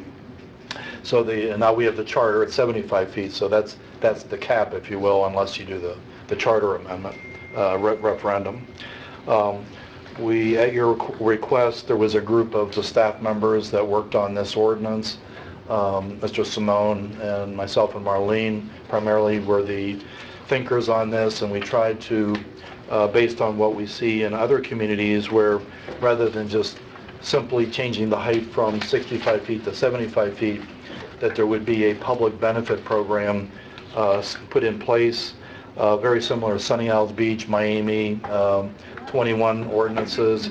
If you go, if you, want- if a developer is asking to go taller, there's a quid pro quo, if you will, there's a trade-off in uh, FAR or building height or density type of things in exchange. Uh, The Sun- uh, community of Sunny Isles Beach is a good example. They, with all the redevelopment of all the high-rises, they got multiple beach access, they get money for parks development. Um, Even if your setback is uh, decreased, they get some money. So there's, these are established programs, and they're, they're geared towards the desires of the, each community. We uh, put together an initial list in the ordinance. It can be amended. Uh, We tried to uh, identify things that we saw in some of the other ordinances and things that are uh, important to you as a community. Um, This could be changed. Um, We tried to come up with at least minimum qualifiers um, of things rather than saying, I'll give you one more parking space or, or something like that. Uh, And again, th- these are things that can be changed. So there are specific items, affordable housing, dedication of public parks and open space, undergrounding, utility lines, uh, green building standards, excess parking, uh, things that are in our capital improvement budget. And then there's kind of a uh, catch-all, if you will, of things we, um, that would allow you some flexibility. And our, our intention for you is to give you a tool that's flexible based on each situation. One project may, you know, want something on the, some of these things on this, on this side, some on, and the, and the balance may change. So we're trying to give you a tool if you want to pursue this um, with some criteria, but also some flexibility. Mike, can you um, just clear up one thing? There was a comment made by uh, Mrs. Newhut about that waterfront lot that happens to be owned by the folks that own the Yes, four right. lots on Kane Concourse. Is that waterfront lot considered B1 business district? No, in fact... uh, So this this gateway. legislation has nothing to do with that, right? It it has residential land use, it is zone gateway. Right. But the gateway says for that lot, you refer to the residential. Right, it's not uh, applicable to regulations. Exactly, okay, just, just, to just, thank you. Good for our that edification, clarification, yeah, for our own edification. And we do Right. follow the comprehensive plan, by the way. Yeah, of course. Um, Personally, um, I I mentioned to Frank today and also mentioned to to Michael, um, you know, I I don't like the specifics, because I I don't think it's applicable for every single project, because again, you're talking about the entire business district. What may be applicable for one specific project may not be very good to our public benefit for a different project. And, you know, I'd like to see a more generic phrasing of, of the verbiage for what, you know, in the bullet points, because, for example, you look at, um, um, you know, the green buildings, i i I, I like the idea that you put one or more, but I think it needs to be more of where the council needs to vote on the issue case by case.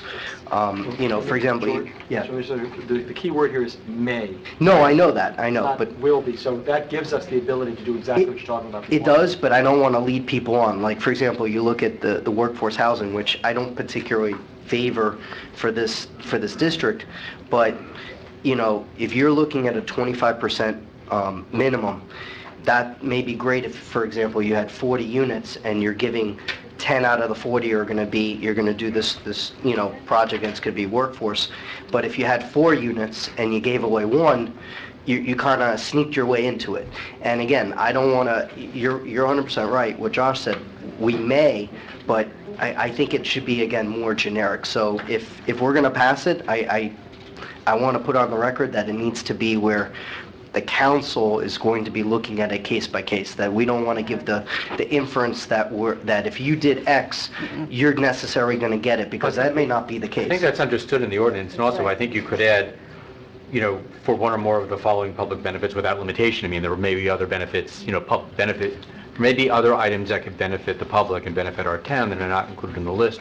So I would uh-huh. want to just clarify that, where you're not limited to... Right. And it leaves it, the last one is any other contribution. Any other Right, it says any other Acceptable to the contribution. county. Right, exactly, right. And, and let me say, Jordan, one of the things, I, I see where you're going, but at the same time, I think this covers it, because if you look at A, within 8A, Right. it talks about, it says, the public, the town council approves the request at a public meeting, and. Right. And so it gives us the ability, which you're talking about, before any of this other stuff happens. I just want to make sure, because, you know, I, I just don't want to be in a position where we're, we're, When we're giving, stuck. up- yeah, where we're giving ourselves something, because this is something that, if we're going to give the extra 10 feet, we want to make sure that, that No, the this gives intent us is... the vote. This gives that- us the vote. That's There's what no I way around want. Exactly. Okay.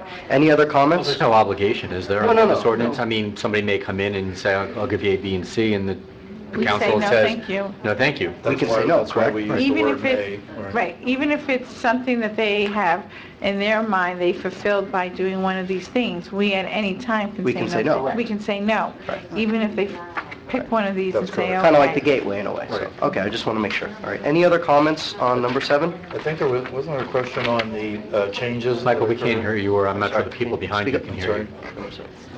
I think there was a question, a question on the two I think it's changes from- highlighted Yes, as to right. what, what the changes are. There was just, It adds a there couple more was a words. request by the attorney representing the uh, new property owner that wanted to clarify that if you lift it up, you can still do the elevator shaft on top and and things Yeah, that we that's allow. Right. regularly. So that was a clarification. It's in the general ordinance anyway. Yes. Right, of course. All right, hearing no other comments, um, can we have a poll vote, please? I just want to say one thing. Oh. Um, Just to clarify, we have a lot of people in the audience. We have a charter that caps our height for the whole town, or the East Island, essentially at 75 feet. And by code, which, you know, the charter can only be changed by a vote of the people, and the code we can change. So we could just change this code for nothing, but we have this, um, this idea that came from the development community that says, well, change it, and here we're going to give you something for it, and this allows us to do that. So I, I think uh, it's actually very good. We've talked about it all the time, but never had a mechanism. So I think it's a good idea. Thank you, development community. All right, well. All right. Poll vote? Excuse me. All right. Come on. Councilmember Yaffe? Four. Councilmember Salver? Four. Councilmember Reed? Four. Councilmember Fuller? Four. Vice Mayor Bruder? Four. Mayor Leonard? Four. Yeah. All right, number eight. Item eight, consideration approval of an ordinance on first reading, amending Chapter 4 of the Town Code to prohibit animal, am- animal- animal uh, feeding on public right-of-ways. An ordinance of the Town Council of the Town of Bay Harbor Islands, Florida, amending Chapter 4 of the town's adopted Code of Ordinances entitled Animal Control by adding Section 418 entitled Prohibiting the Feeding of Stray or Ownerless Cats on Public Property, providing for severability, providing for codification, and providing an effective date. All right. Can I have a motion, a second for discussion? I'd like to make a motion that we delay the vote on this in lieu of getting a group together to put a comprehensive TNR plan. Well, we, Oh, what, oh, what plan, Kelly? a Um, compre... Well, I would, I- yes, I w- I move to defer it. I would like you, we have a lot of people in the audience who are considered subject matter experts, and I would like you to give us until January to put together a plan with staff, but since they're here, you know, they can share some ideas with you. I, I agree. I think before we vote on this, I would like to get a better, I mean, idea. I th- Sorry, I'm sorry. I, I, I agree with Kelly. I would like to see staff and maybe some of the experts come up with a plan. Just saying, you know, feed the cat, don't feed the cat, that's, I'm just wondering why we didn't defer it an hour ago. Yeah, I know. Exactly. That- that- I'm not And sure. We don't want to talk about it if it's going to be deferred. Yeah, if it's going to be I deferred... don't want to next- talk if it's about gonna it. be I want it deferred, next sir, I item, want it and to- that's it. I want the group to meet. I agree with Kelly. The group should meet. They should have the experts. They should meet with, um, They should meet with the manager. the manager, come up with a plan. Not just, this is what we want to do, but a comprehensive plan. I agree with Kelly, and then come back and actually have a vote Let me just make a few something. points then in lieu, Absolutely. I'm and, gonna go uh, back. you know, we've all spoken. No, Uh, well, no, well, wait a- if we're- I if think- we're going to defer it, on to the next item. Is this a discussion on the Hold deferral? on, excuse me. This is, Excuse me. excuse me, hold on. If a council member wants to defer it and the council so chooses, it gets deferred. That's the process. It's you're either going to be deferred or it's not going to But be. we have a motion and a second to defer, and now we're going to discuss that motion, is that? We're going to discuss. Just one, correct. just a brief couple of points, uh, or no? You, you want to, you want to defer it. Kelly, if you want to... So let's vote to defer it and, and we'll, I let's just, step. I I just feel bad for everybody who waited I here mean, I because wish this you is... would have mentioned during, it was supposed excuse to me. beginning- Let me, I, I- I'm just, well... I'll No, I'll there's explain, I'll- oh. Forget there's a motion and a It's- second. Yeah, but you can discuss on the Look, motion. here's the thing, I mean, it's a, this is a very limited Should have been an hour ago. ordinance, you know, that nobody's saying trap cats, capture them, do anything to the cats other than limiting where you could feed them. I'm, I'm just saying, that's what the ordinance is. So it's very discreet and very limited. I mean, what, like, Well, what, for what ex- will the group, you know, get together to discuss? And, you know, it simply says you can't feed a cat on public property. You could feed a cat in front, on your property, in front of your property, but not in a po- town parking lot, for example. So I'm not sure what Well, I just, I really wanted to take a minute, I could have done it already, just to make two or three points to tell you where we're going, because maybe in the next two months, you'd like to do a little research on your own. You know, the, the manager provided us with uh, an article from PETA that is entitled "Feral Cats Trapping is the Kindest Solution." Okay? PETA is great, big organization, deals with lots of animals. We have some local organizations that deal specifically with feral cats, for example, the Cat Network. Uh, We have many volunteers here who are trained by Miami-Dade County. We have uh, some volunteers who have worked for various cities. There's- Kelly, Kelly, I'm, I'm sorry, but I, I, we can't, we, we have an Okay. item, we have a protocol of doing this. mean, Kelly, I- the the fact that the people here are waiting to speak about it, if we either speak about it or we don't, but if they're, if you're going to speak about it... Chief, they can you get be the, hold on, Chief, can you get the vice mayor to come in, because we need to vote on this, so just tell, come on in. Because, because, we, yeah, but I need to, we're going to vote on whether or not we're going to defer it or not, so, you know, all those in favor, in favor of deferring it, say aye. Wait, wait, wait, let her... All right, she's in favor, you're in favor. Anyone against?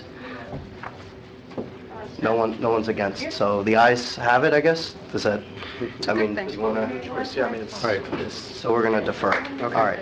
So we'll defer it till, till January. But I think if you're going to defer, it's already, well, if not, if we're going to, it's already been deferred, but, but somebody needs to schedule a meeting and coordinate a meeting then, because a lot of people came out here this evening who wanted to speak, and just to say we're going to talk about it again No. in January without doing anything between now and January is counterproductive. So I'm not sure who's going to be in charge of that, Kelly. I mean- Okay, I will take the lead on getting some of these volunteers to have a meeting with the staff to put together basically a comprehensive TNR program. That- That's With fine, some I understand, details. But in the future, please, if there's Yeah, I- something that you want to defer at the beginning. Well, I, I- I thought I might have been contacted before this, when I saw this um, agenda item on Wednesday, you know, I thought it was very drastic, and, uh, you know, I talked to Ron a little bit about it and possibly, No, I I meant the beginning of the meeting. When we asked... I mean, we have an item on the agenda Was that in in our our rules. That's the problem. And that way, everybody knows, so they're not, you know, I mean, I mean, and by the way, just for the record, you know, for everyone's edification, I mean, I contacted, so- you know, did my research before, I was prepared to, to discuss it, including calling our, coun- and by the way, I will mention, just for, you know, this, um, our- I spoke to our county commissioner, January 14th is going to be a TNR day for Miami-Dade County in Bay Harbor Islands. So we are going to have an actual citywide for Bay Harbor Islands on January 14th. Sally Heyman's going to sponsor it with the Animal Services Department. So, uh, but Ron, excuse me, Ron, can you just make sure that we get all their information? I'm sure we can use the public record, and we'll invite anyone that wants to come and speak to you in regards to this, okay? Mr. Mayor, I just have one quick I- question. I- TNR is for actually um, make them, uh, you know, fixing them so they Yeah, will know. not overeat. And so we are here uh, saying about not feeding them, starving them. to- Un- Unfortunately, the- I I understand, but the council, you know, it was proposed and it was approved to defer the item. So, so they can... They they can leave all their Let me- information at the back. Listen, this is going to drag the meeting a little bit, but I think it's re- it's reasonable. Mr. Mayor? Yeah. A lot of these people did not put their their names in for good and welfare because they thought they were going to be speaking about an actual item. I think we should reopen good and welfare if they want to speak about something now, because it is, I I feel bad for anybody who's... I do too. I am- I- Okay. If if someone wants to speak about it... I I believe the vice mayor is collecting names, phone Oh, numbers. Hold on, guys, guys, emails. guys, you know, hold okay, on. what about this? You What know. if I withdraw the motion to defer and we hear... It's already been Ah. approved. If you want to, Can you undefer? it can be with a supermajority. If you want to, if you want to move it and, and second it, you can have with a supermajority, you can, you can. Wasn't even taped back again. Okay, that's fine. Okay.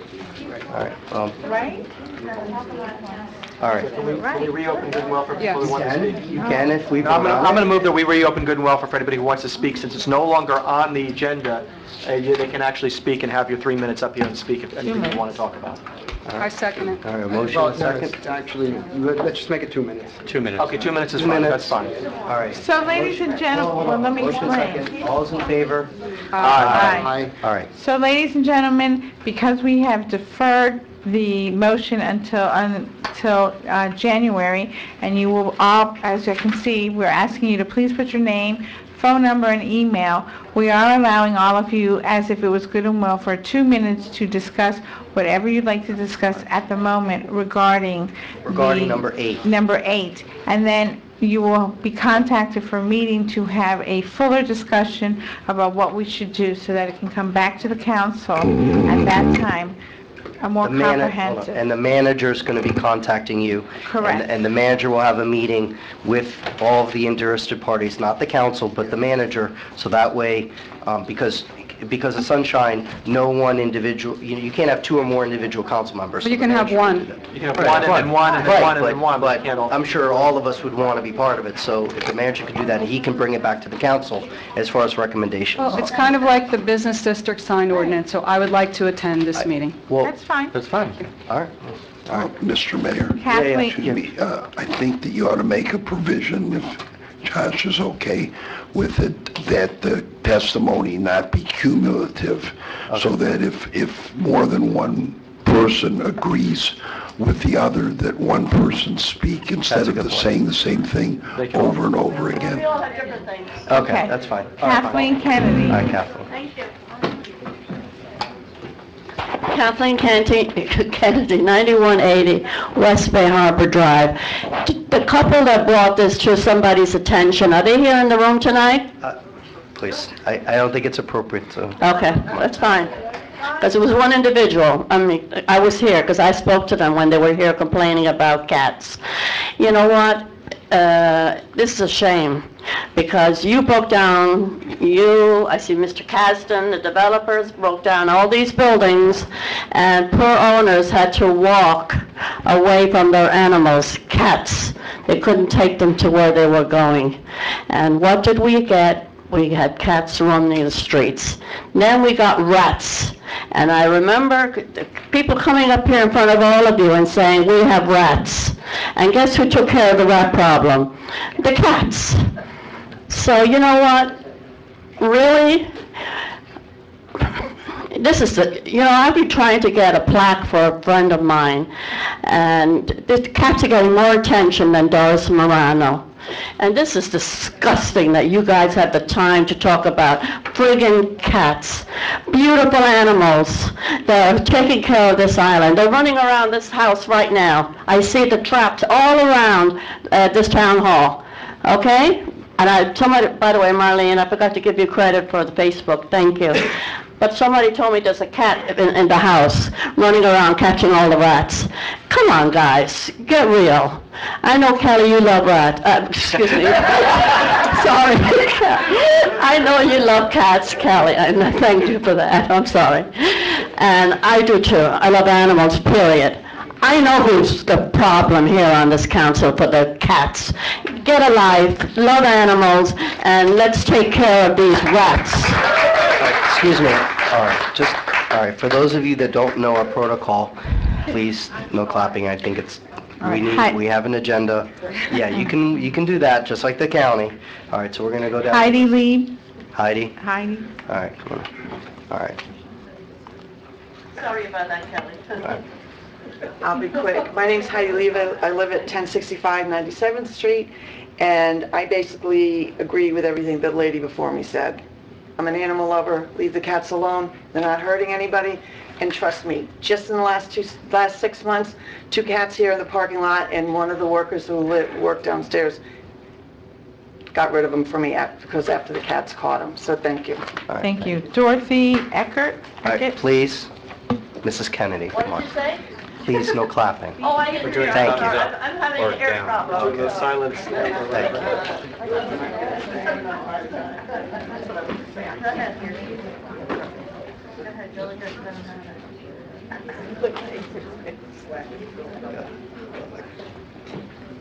Hi, I'm Dorothy Eckert. I live at uh, 10350 West Bay Harbor Drive, and I basically concur with everything that was said, but I also want to say that these are living, breathing animals, beings. I mean, they, they will starve if they are not fed. They will rummage in our garbage. They will, it will be a worse problem if, you know, they're not kept fed, and, and they are, they were dumped here by people, and it's not their fault. I mean, and personally, I too love animals, and I feel so uh, sad for them. Some of these cats, just, it's very sad. I mean, I don't know what else to say, but I hope that you will hear us out and change your uh, votes. All right, thank you for your thoughts. comments. Lisa Portman?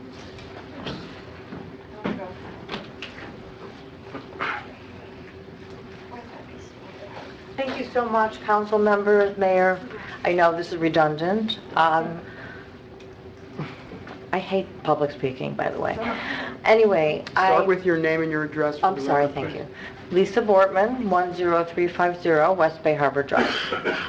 I believe we don't want to be a community to being animal haters. I think that we as a community can find a solution to really do the right thing, which would be TNR. And I'm looking forward to working with the town manager and hopefully coming up with a solution that works for everybody.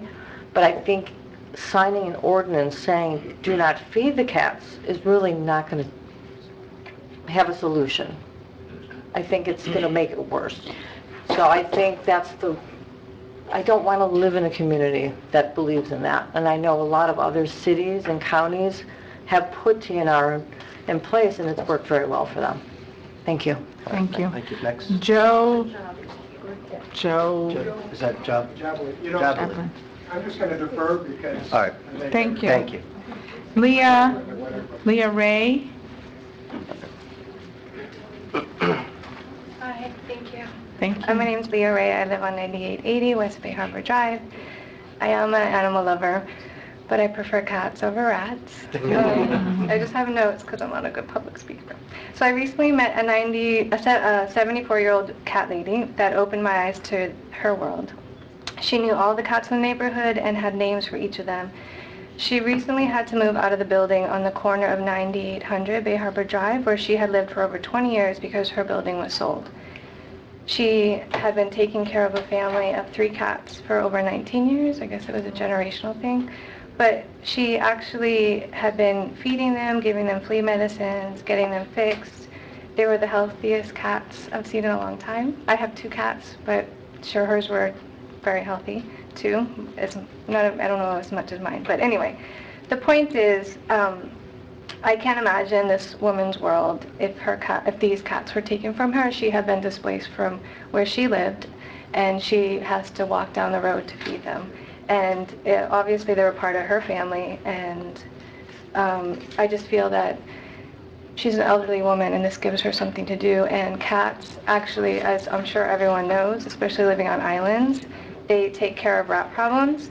If you were to look up a National Geographic um, article recently, so, uh, September 2017, they have homeless cats are recruited to fight rising tides of rats in DC, in Vancouver, in New York. Um, there's another, another article, I'm sorry I didn't print them out. Um, a woman, uh, doctor in Vancouver, said that there are rats now with MRSA strains, the same as the human MRSA strains, because of the rats in the area. And they are now recruiting cats to take care of them. And not that I'm praying that this happens to us, but I want you to know, in Bay Har- uh, North Bay Village, North Bay Island, when they took out all the feral cats, they had an infestation of rats. So, anyway, thank you. Thank you so Thank you. much, Thank and you you for did a your great comments. job, public speaking. Who do we have next? Mayor Linda Zilber. Mayor's over. Nope, two more. we live on the water. When you live on the water, you have water rats. But we settled this a long time ago. When I was mayor, we had a group that came here, and they were interested in doing something about the cats, and we had Cat Network come. They take the cats, and they neuter them, and they bring them back, and it's a wonderful community. So we already decided that, that we were going to let the cats live happily, and have Cat Network come and help the cats to be healthy cats. Thank you. All right, thank you for your comments. Cesar Suarez. Caesar.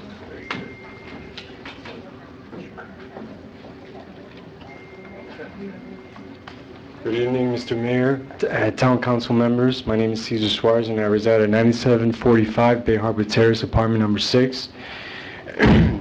First of all, I want, I want to briefly say that I believe number 8 should not be ratified because it is ineffective, lacks any real strategy, and instead advocates cruel and abusive treatment of stray cats. According to the Humane Society, the general logic behind feeding bans is that with no feeding, the stray cats would generally go away, which is generally not the case.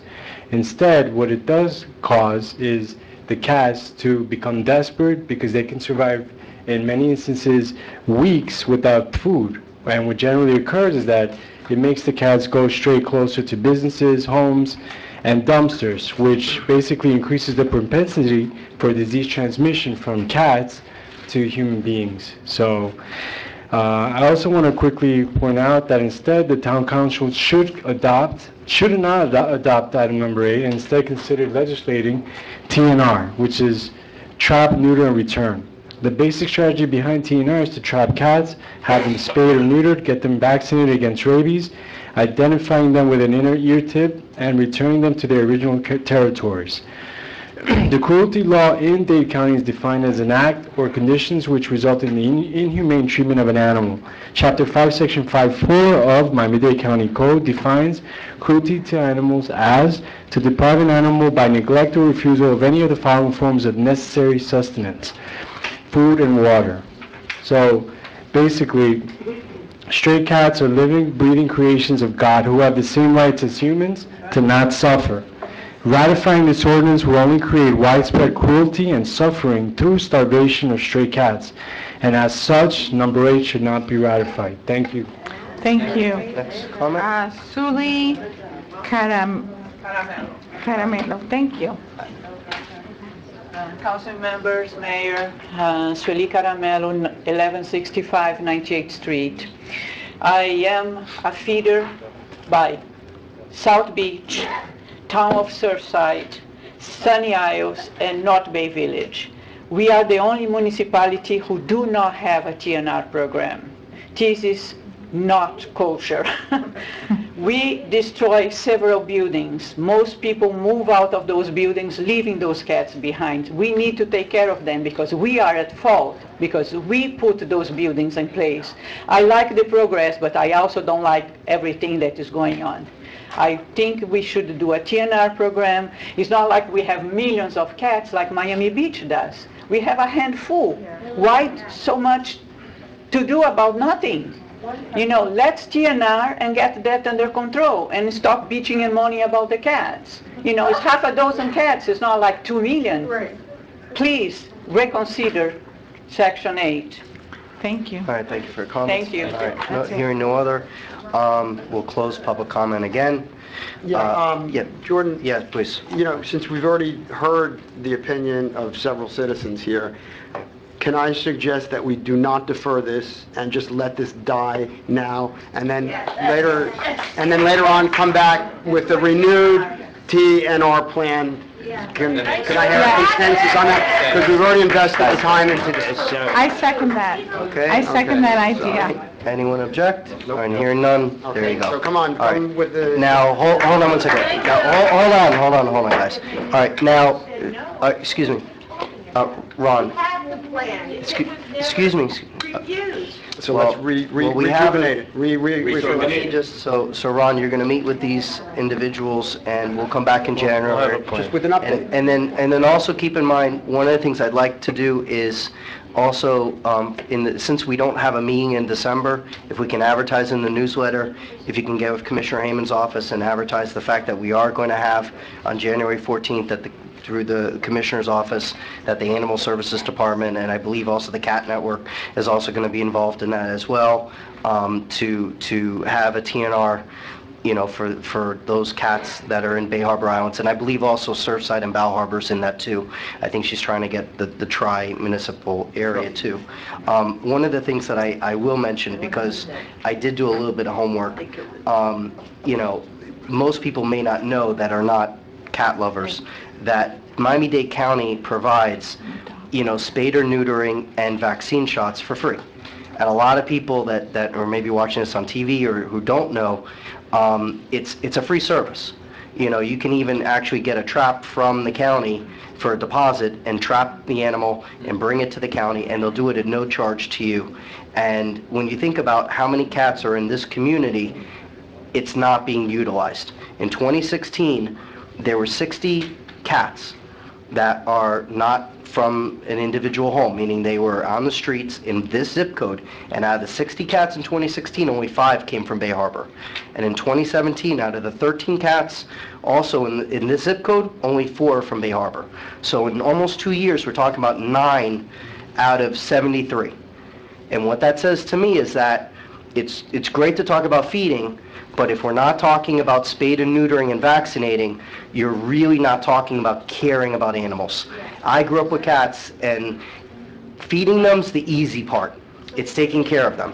So, Mr. Manager, I would just, no, no, we, we had the comment, what I'm gonna say is, Mr. Manager, if we could just make sure that we get all of their, their input, and we can get that on the agenda, okay? All right, we're gonna move on to number nine. Item nine, consideration and approval of an ordinance on first reading, amending section 18-22 of the town code to require property owners to underground their service lines. That's the line from the pole to the house. An ordinance of the Town Council of the Town of Bay Harbor Islands, Florida, amending section 1822 entitled New Construction Rehabilitated Structures. Hold on, hold on, excuse me, excuse me. Members of the public, please. We still have the rest of the meeting to go through, so if you want to speak, feel free to go outside, but if you could just give us the opportunity to finish our agenda, I'd appreciate it. Thank you. All right. Madam Clerk? An ordinance of the Town Council of the Town of Bay Harbor Islands, Florida, amending section 1822 entitled New Construction and Rehabilitated Structures to require property owners to underground the service line or lateral from the building to the utility pole- poles or underground facilities, providing for severability, providing for codification, and providing an effective date. I'll move it. Second. All right, a motion, a second, any discussion? We have public comment. Francis Newhut again. Mayor, just so, before uh, Fran speaks? Yeah, please. Just so you understand that um, it's been long, long the town policy that when new construction or work is being done, that the building department requires undergrounding from the rear of the house or rear of the property into the building. Right. Um, This really was just to clarify it, to make sure that Yeah, I- there's no misunderstanding of what, what what needs to happen, and that's Okay. why this... Well, can I just, before, because I had talked to you about this and and to Dale about this in the past, I mean, I'm glad this is on the agenda and that you're codifying this. I think that the idea of having We're gonna lose the policies, which are not ordinances, We're losing the um, quorum if you want. results in confusion and, and, and sometimes unexpected surprises when, um, you know, homeowners or property owners or, or or planning renovations and so forth. So the fact that it's a written ordinance as opposed to a policy, which sometimes is ambiguous, I think is important. Absolutely. All right. Mrs. Newhut? Should I go outside? There are more people out there. Yeah. Oh, Go ahead. feel free. Um, First of all, what's nice about utility facilities, you can see them. And you can see uh, this um, substandard work that FP&L is doing. And um, I've been complaining for 100 years because we have uh, behind our buildings, uh, the old poles, they're wobbly, whatever, uh, they're rusted, they're this, they're that. I mean, it's so easy to underground them. And um, this, what I'm trying to say is this ordinance is nothing new. It's in our code already. And, um, but I want to just say that in, what we don't uh, accent is the high quality of life. And that's uh, section 11-8.1, and that's after uh, 11.8, which is services, and they talk about public facilities such as this. And um, Again, it's in our code. They're to underground from the house. Uh, excuse me, can I wait till they're done? Chief? The door closed. Chief, could you just ask them to quiet it? Thanks. Okay. It would have been very easy for our town, especially with TDR money, to underground on the East Island since you ripped up everything. Um, We have now, and this happened in other towns, and if you look at these uh, concrete poles now, you have like all this stuff on it that's going to kill us. Um, You could see that by Talbert's building. Um, These should be underground. Uh, There are towns have who complained about the radiation, whatever that stuff is that they get cancer from, that's in our town. My son just bought a house. The telephone poles in the back of his house are almost in a swimming pool. So, some- like I said, we, this ordinance is on the books. We have to concentrate on the quality, the quality here, and high quality of life with these facilities. And also, they talk about with these facilities, um, Channel 88 and the service. Well, I got news for you. There's no sound again. So, I don't know what's going on with this town, but we're not getting the service, we're not getting the quality of life here. This is a beautiful town, Thank you for your comments, Mrs. and we don't need affordable housing, John. Thank you. All right. Hearing no other comments, we have a motion and a second. Poll vote? Okay, um, uh, Councilmember Yaffe, Four. uh, Councilmember Salver, Four. Councilmember Reed. Which number? Nine. Aye. Undergrounding, first reading. Four. Uh, Councilmember Fuller's not in the chambers, uh, Vice Mayor Bruder, Four. Mayor Leonard, Four. passes. Number 10. Consideration and approval of an ordinance on first reading amending chapter, amending chapter 16 of the town code to permit payroll deductions for the payment of purchase of accredited service of mi- past military service or police service. An ordinance of the Town Council of the Town of Bay Harbor Islands, Florida, amending Chapter 16, uh, the Town of Bay Harbor Islands Employees Retirement System of the Town of Bay Harbor Islands Code of Ordinances to permit payroll deductions for the payment of purchases of credit service for past military and or police service, providing for severability, providing for codification, providing for an effective date. I'll move it. I'll- Yeah, I'll second it. Motion second, any discussion? Hearing none, poll vote, please. Councilmember Reed? Four. Councilmember Salver? Four. Councilmember, Tr- uh, Councilmember Yaffe? Four. Vice Mayor Bruder? Four. Mayor Leonard? Four. Number 11, please. Consideration and approval of an award contract BHI 186 for pressure cleaning and sanding of brick pavers in the amount of $42,500 in favor of Cartman Commercial Services. I'll move it. I'll second it. Motion a second, um, any discussion? I do. Okay. The restaurants that use the, um, the, Outdoor seating? No, the, the, oh. Sitting areas. yeah, the city, they pay a certain amount into the town for the cleaning of Do the, they pay for, do they pay for the cleaning or they pay money? do they pay money? No, they don't, only if code goes and inspects and sees that there's an inordinate amount of dirt, or we have to come Correct. back and service it, then we would require that, or ask them to take care, you know, come back on their own and clean. All right, I would It's ask... their choice, right, to pay or to do it themselves. They could have someone do it. Right. I would ask if you could just make sure that the new company um, look at some of the streets, because I I did not like how the old company was, and and there's in fact some areas already where you can see the grass already growing between the pavers, so I I hope they take, the new company takes care of that Okay, appropriately. well, you got it. Please. All right, um, poll vote, please. Uh, Councilmember Fuller? Four. Oh, you gotta go. Councilmember Reed? Four. Councilmember Salver? Four. Councilmember Yaffe? Four. Vice Mayor Bruder? Four. Mayor Leonard? Four. Tell tell us what you really think. Number 12.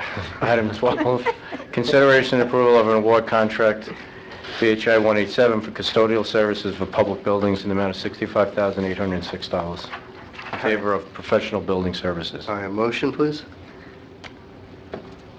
Any motion? Last chance? Number This is to 12. clean town hall and to clean all our public buildings. We're about to lose it, so. Well, I'm, I'm moving for discussion. Moving for Is discussion. there- I mean, the question is, what are we currently doing? Do we have a janitorial service, or now that we We- have we more do. public facilities, we're looking to, No, this, this would include our, we don't, we have to bid every once in a while, just to make sure we're getting our... Is this, Was there, was there a second? We currently have, There is no second. I just second. had a question. all right, well, if I can just... I'll second it for discussion. There's a second. Okay, now. Go ahead. Our current contract is expired, um, so we went out to bid again. The, uh, the contractor that we currently have, that, that was currently doing it, they weren't doing a great job. You asked the police department, we weren't really satisfied with them. Um, we went out to bid, um, these are the way the bids came back. We don't have an on-staff janitor, or cleaning company, so kinda need a cleaning company. So, um, well, that's what I wanted to ask you. It's, first of all, I'm glad it's not the same company because they really left a lot to be A lot of desired. schmutz? Yeah. Oh, and I'm OCD, so schmutzy, it was schmutz. Yeah. The bathrooms were awful. But you took it out to bid, and this, you, you, you look, you called other comp, you know, other, These, these are, we had, it's a- No, it was advertised publicly. no, I know, but I'm saying you, you're, you're- they're satisfied customers. Yes, no, the, the company, the, the company that we're recommending, we're very satisfied, we, we would be satisfied. How much with. were we, okay. No, see, the problem that happened with the, oth- the other company, w- they underbid the last time, so when they started the work, they're like, oh, I don't know if I can do this like this, and so from the very beginning, we didn't have. So who do we have right now? The old company? No, currently doing this, uh, until this contract that hopefully gets awarded, we had the comp, the old company.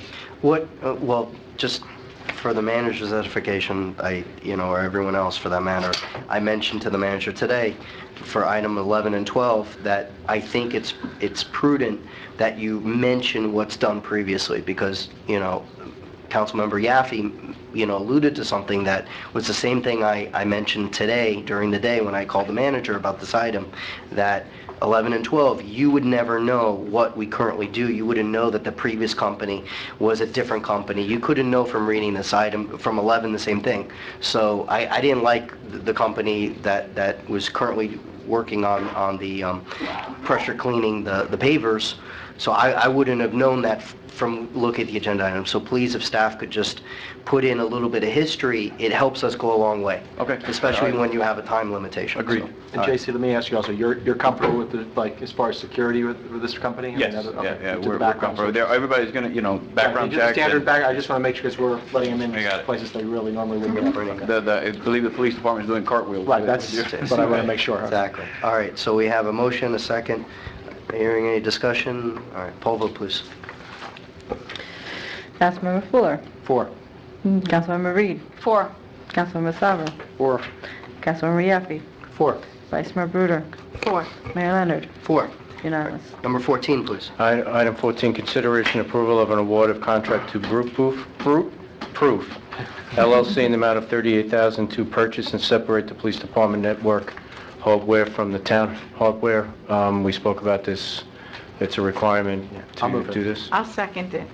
Yeah, I have one question. Um, I noticed that it's a, um, I think it's a refurbished server, the, the computer. Is that, is that something you guys are, are okay with? I'm sure it's something that, I remember looking at this somewhere. It's refurbished? I just, Yeah, Well, it's. That's what the, that's what If the it is, then refurbished- if uh, I would ask, well, Roberto's not here, but Yeah, he's the he's- one that would sign off on it. um, and have to I be mean, it comes with a warrant, a one-year warranty, but I'm just saying, you're gonna spend this kind of money, you really want a refurbished, you know, server. I'm- I'm I, I just- s- I s- I sent a picture of this to my IT guy. Oh, yeah, what, what'd he say? It's the kind of like Yeah, a yeah, yeah, random yeah. spot check. How come I don't get that price? Yeah. Yeah, What'd he say? and, and, um, What did he say? you know, I, first I, I sent him the picture just with the description, Yeah. you know, just with the description, and he said, you know, I said, how much would this be? And it's fifty-six hundred dollars an hour, you know, an hour on the, on the bid there. Uh-huh. And he said, he immediately answered that it would be between seven and eight grand. So, um... So you know he what said- he's charging you. So his response, so his response was, that's a good price, but it, you know, uh, one of the questions that he asked, were were the drives refurbished as well? Yeah. Are, So is that, Rob- that's Roberto, right? yeah. What, Roberto, Roberto, Roberto, watch it. are- Roberto. Roberta. Roberto? Roberto. Roberta. Excuse me, Hello. hey, Hi. come on up. Are the, dr- are the No, no, drives? up here. No, no, no. Up here. Yeah, yeah, you're, you're on the. Name and address for the record. No, no, no. So what- Roberto Are Gonzalez. the drives, are the drives refurbished in this, you know, in this thing as well? No, not the drives, just the, the system. Sometimes, basically, this is done to save some money. Right. Uh, this, this refurbished server still has three, four year warranty. Right. On it, so whatever happens to it, they'll still fully responsible for it. Right, right. So. Yeah, so, we'll just- I mean, he said it was a good, he said it was a very good deal, so. Yeah, I don't mind a good deal, I just want to make sure that we're getting... Just clarify then, because this says one-year warranty, and It says one-year warranty. three to four-year No, warranty. we, we will get to, uh, three year warranty on it. Okay, All that's, right. And that's pretty and good. also, this was publicly bid out, we went out to bid. No, I know, I'm just, my question is, it's great to get a, a good price, it's, you want to get the quality too, so, all right. Um, Hearing no discussion, poll vote please. Councilmember Yaffe? Four. Councilmember Salver? Four. Councilmember Reed? Four. Councilmember Fuller? Four. Vice Mayor Bruder? Four. Mayor Leonard? Four. It's unanimous. 15? Consideration and approval of a proposed program for the town's 70th anniversary celebration. I was asked to look into this about fireworks. I contacted uh, Grucci and Zambelli. Um, I worked through Bal Harbour and the company they used. Zambelli has a, is who they used, and they have uh, offices down here in uh, Florida. Um, To put on an event that would be, you know, something halfway decent, I wrote, we, uh, I looked up what I thought we would need. Fireworks, fencing, barricades, some a generator or temporary lighting, uh, food trucks for some kind of, um, some food to give, to, uh, to have. Police department personnel, bus transportation, I would be requiring, you know, four, at least four small minibuses to, you know, ferry people back and forth. Um, portalets, some giveaways. I have the DJ, I didn't really have that targeted in, but it's, from all accounts, that's not going to be a great expense. But it's roughly $50,000 to do this event, um, give or take. All right. Most of my, most of my hard numbers, or my pretty good numbers, a little less than what I budgeted for, so, but I would say that it could could go exactly up what or you down. said. Yeah, And it's that's for how, exactly- and that's for how many people? Uh, a minimum of 800 to 1,000. Yeah, you know, I, I have an idea in Yeah. reference to this. Um, well, uh, I guess for discussion, do we need a motion? All right, I'll move it. Um, I'll second it. Um, You know, I I know in years past, we've had events that were actually at least partially underwritten by sponsors.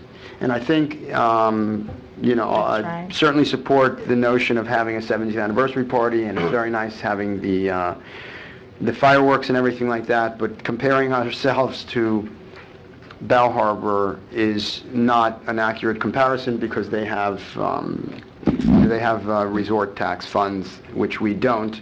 So any money that we spend comes out of our operating budget. And uh, what I would suggest is that, you know, we do make an investment in our 17th anniversary, 70th anniversary, um, but I would say, let's go, let's try to es- establish a fund and then have, like, do a match. Let's say, you know, either the people in the business district or, you know, the Parks and Recreation Department, or, or someone could go out and solicit funds from private donations, and let's try to raise 25 grand, and then we'll match 25 grand. I already, I already have one or two people interested in sponsoring. Yeah, it shouldn't You know, be hard. I'm sure that- Like a thousand dollars, you know, something to start. Yeah, or, or, you know, just have a schedule of Have a- sponsorships, we can have like a m- major sponsor and minor sponsors, and I'm sure... A lot of you know, I don't know, developers in the town, Broad- some The Broad Foundation uh, might want to kick in some bucks. You- They have to be asked, at least.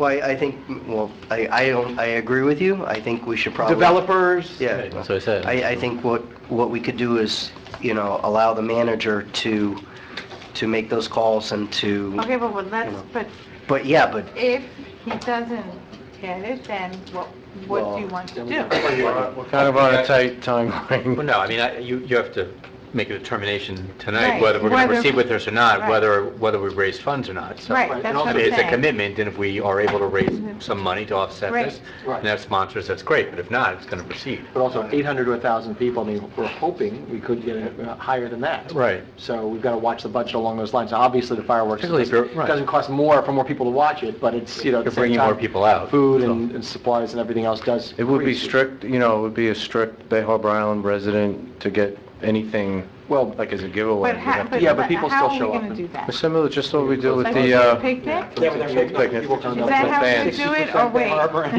No, I No, think- it'd be a little stricter. No, but Am I right or wrong? what, no, what I think we should do is, is restrict access to the island, that you can't get there unless if you have, you show your FDOT will identification. let you. Yeah, we Why can't. don't- If you're doing this on the causeway, aren't you We can block closing, the causeway. Closing, aren't you closing the causeway? yeah, we Right, can do so that. at that point, you're restricting access to the town. Yeah, I think we can, Stop people from coming in from the other side. I- Closing the we- the we- whole causeway, all four lanes? it's closing the island. That's We- funny. we- I know it sounds, it sounds drastic, but we've done it quite often, regular, on a regular basis. Yeah, it, it does happen. Hurricane did it. We do do it for maintenance on the bridge and for other reasons. We've No, I just- closed it down. I, I just think that, Yeah, that. but that was two in the morning. We should be stringent in regards to restricting it to residents because it's something that, that, to have the privilege of, of being there and have this event and we're gonna spend this kind of money, we don't wanna deny residents the No, no, ability to. that's the Uh, we're- No, we're agreeing to restrict the causeway access. In other words, people coming in from the east, coming in, causeway access to the party to Bay Harbor residents. But when we, you said before, restricting access into Bay Harbor, that's... No, no, no, no, to the Causeway Island, I'm Causeway, sorry, to the actual event. They can enter the town, but, Yeah. but to the um, actual um, event, Will there yeah. be any parking for residents? There's not enough space. We would, is that's what the buses were for, Yeah. would have Right. people walk, uh-huh. you could either walk or would have a series of four, Shuttles. four I- shuttles don't dropping you off. Yeah, if there's no, And then you- if if we're cutting off the causeway, we can have on, you know, up and down Concord, it's all just people walking. pedestrian. It'll be, there's no car, there are no cars. But we could, but, but the actual shuttle bus can go around the entire town and pick people up, and that's the whole That was point. the plan. That theoretically, you could actually walk outside of your home or your building, and, and, and you can either walk, or you could take the shuttle, and the shuttle will take, will have trips around until the event's over, so. And, And and, that's what Bal Harbour did, you know, and, and it worked fine. And I would like to know, how are we going to restrict this? Because I think that's gonna be extremely difficult. Don't use the word restricted, how we're going to monitor that. I think- Monitor. Well, you try to do it the same way you do the annual picnic. I mean, You have to you have a- tickets, you have to come in and get your ticket with proof of ID. And usually you present the ticket as you're walking in and you get your, Wristband. It's easy You get your wristband. It's just, you do it like, like... If you have a Columbus wristband, then you're entitled flip little to- mini fence right. things, and It's, it's not hard. you have, you're entitled to food. If you come in and you say you're a guest, I mean, I'm, I haven't really thought it this far, but if you come in with a guest who doesn't have the wristband, they can, maybe they can come and watch, but they can't have, they can't have food, they can't have anything that we're giving away. Well, that's They can never, you know, people Stand there still and have to, watch. Right. if they, you know, when people buy, when people come and get, pick up their tickets, if, look, if they have four people living in their house, three people, they get those three tickets. If they want to invite... Yeah, I don't, I think we should, But not the other person, that's fine. yeah, I think we need to We can limit figure that it. part out. Yeah, yeah, I mean, I, I, it's for Yeah, residents. so the only thing I would say though is we've got to, you know, we have to figure out whether or not we're budgeting and what we're budgeting tonight. As far as sponsorship, I, I love the idea, except I think we have to, before we start speaking to sponsors, I have to see what kind of, I think we'd have to say what kind of publicity we're trying to get, because that encour- encourages uh, sponsors. If you're, if you're just keeping for Bay Harbor residents and not publicizing it anywhere else where you're not going to get, you know, try and get a story out of, in the Herald, well, nobody reads the Herald, but some history in the Herald, or, or something on local news or something like that, you tend not to get a lot of corporate sponsors. But if you're going to try and get some kind of little news story on, and you mention that when you're trying to get a sponsor, it helps get a little bit more money. All right. So I think you have to have that before you talk to them. That's a good idea, too, yeah. All right. Question, since this is in- in January, are we doing the annual 5K, 10K walk runs? It's the same day, in the Same. It's morning. the same day? Okay. Uh-huh. Oh, wow. Okay, because I haven't seen anything about that yet. Maybe I missed it, but I'm fact, you just can curious. run to the festival. Right. It's gonna be a long day. Different times. Yes, th- and that's, a- that's another, well, we don't close, uh, we do close. The, uh, And we get cause- sponsors for that, right? Not anymore. Yeah. Not- Not anymore. Not anymore. We weren't doing the last couple No, of That's a no, we Monday? haven't. We just budgeted. Is it a Monday? No, Sunday. Sunday. Sunday? Sunday. January It's, uh, 22nd? January 21st? It's- it's Second. The 22nd is a Sunday, I hope it is. I don't think so. All right, So, we have January public comment. All right, so, Yeah, there's one. we have public... Leo? Leo? We, we're gonna have that 22nd 's a available. Monday. Is So it, it's the is it a Monday? 23rd. It must be the, tw- maybe this is a typo. 22nd's a Monday, right? Yeah, Sunday is the 21st. Yeah, Okay, they then got it's the the day off. 21st. That's, it. that's my Oh, mistake. Sunday, then the price is double. I'm off on Mondays, how about you? Sorry, Leo. uh, Good evening again, Leo Cornero at uh, 1015 93rd Street.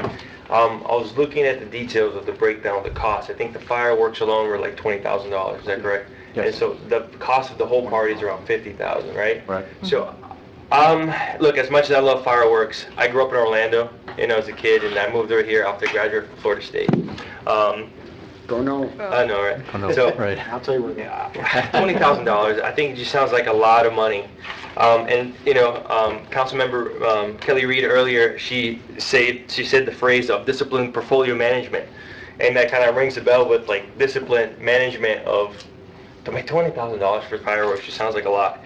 I mean, I live on Ninety-third Street, and now traffic for the pickup of the school is on that street. And I think that twenty thousand dollars could be better spent on, um, striping that street now, because if you're a kid and you're walking through that street, there's all this extra traffic there now. I'm sure that's probably in the plans that JC may fill me in later. Um, another idea, maybe get some, that twenty thousand dollars, we would do like a spring break camp, right? Sometimes spring, spring breaks out, parents still have to work, maybe they don't go on vacation, maybe we provide something. We are. I don't know We have for. a- We have, we Okay, have. are having- perfect. Well, I'm, I saw legit. I closed on my house on, uh, February 18th, so I was. Congratulations. Glad it- Right. You're gonna Glad probably it- have a lot of Spring stuff break. right It's now. twenty-five thousand dollars. Perfect. I guess just the main point is like twenty thousand dollars sounds like a lot. And at thirty thousand dollars, I think we have a heck of a party, and I think we could save the fireworks, especially coming off of New Year's. We're probably gonna see fireworks in December thirty-first, and then seeing it three weeks later is not gonna be such so nostalgic. Nostalgic. But either way, thank you guys for your Thank you time. for- Thank you. Thanks for your comments. All right, we have John Vetter. And, hold on, Mr. Manager, just so you know the, the clock. Yes, Casey's, absolutely. uh, John Vetter, 10350 West Bay Harbor Drive, Bay Harbor Islands, Florida. Um, I believe property tax bills are coming out this month, Tomorrow. Yeah. and Joey. I just want to remind you that fireworks are literally tax dollars going up in smoke. I'd rather see it used for like a men's room on this floor or almost any other type of thing. If it was a 100th anniversary, maybe, 75th anniversary, maybe, but I think it's uh, poor timing to think about having tax dollars go up in smoke. Thank all you. right, thank you for your comments. I have a question about the numbers. Um, How many people usually come to the picnic, more or less? It's about a thousand, and the uh, eighty-five hundred dollars that we budgeted would be in keeping with um, that amount of, that kind of food. It wouldn't be that type of food, it would be something less, you know, more like smaller things to, to, to eat, but, so it wouldn't be, it's enough to handle eight hundred, at least eight hundred people. And, uh, and also keep in mind that the concept of doing this in January was to coincide with the anniversary of the school also, that there was supposed to be a conjunction of, of working together with the school and the Broad family. So, you know, there's some synergy supposedly behind this, not just that we're doing our own anniversary, but the school's anniversary as well. So, I'm having a hard time just imagining the logistics of that many people getting out there, you know, getting shuttled out. I mean, so it- the the causeway will be closed all the way uh, to, like, East Bay Harbor Drive? You're going to close off Kane Concourse as well? Somebody said Kane Concourse will be No. open? Just the west, yeah, the Causeway Just- Island, it and- would be from like... From West Bay Harbor? Or, I'm from sorry, West Broad- Broadview? West Broadview. Broadview. Or maybe, maybe down to the terrace. So you could ride your So let's, uh, bicycle over, the bridge will be open, and is, is that a problem, The or? idea. No, I'd probably keep, I mean, what I recommend is you keep one, I mean, since we're closing off the causeway, close off one of the streets, make one of them uh, two-way, and that way you have a pedestrian, so all the pedestrians on one side, because we're encouraging thou- potentially a thousand or more people to walk from I just East can't Island over. imagine. I just have a ba, I mean, what you see here is a basic plan. Right, I have just said, not- this is something later on, but I'm just saying it's, you know, trying to tell a thousand people to walk from East Island on the Wait. one uh, bike path, or, you know, that's not gonna work. I mean, I, I j- I'd just like to think that our manager and our chief can, can handle this. I mean, I agree.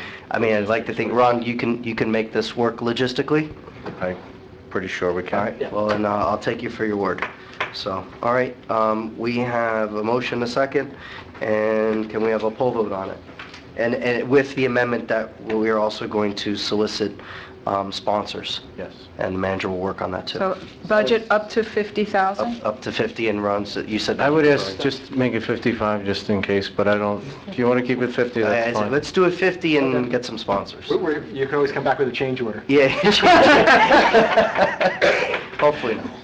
Okay. Well, well, that's not what I, that wasn't my amendment, just for the oh, record, okay? My amendment was that we go 25, and then we force everybody to raise 25. Yeah. But just, just for the record, Yeah. that was my amendment. Okay. Not go 50 and then try to raise more money on top of that, so. The, the problem, the problem is, is if we, if you came up, legally, if they came up a little bit short, you, you know, what do you do? You cancel every, you know, you're Yeah, gonna be able That to. wasn't the amendment. I just- It just- was just uh, encouraging, that, Encourage, it wasn't even yeah. an amendment, it's just to encourage Encourage people fundraising, to right? solicit. Isaac, I mean, Yeah. No, actually, no, I, I wanted to save taxpayers money. And No, I Let me tell understand you, that, the only but- comments that we had on this were against this, so, uh, just for the record, because of the comments that were made, I'm gonna vote against it, because I was really undecided either way, but the, you know, if 100% of the public comments were against it, uh, I'm against it.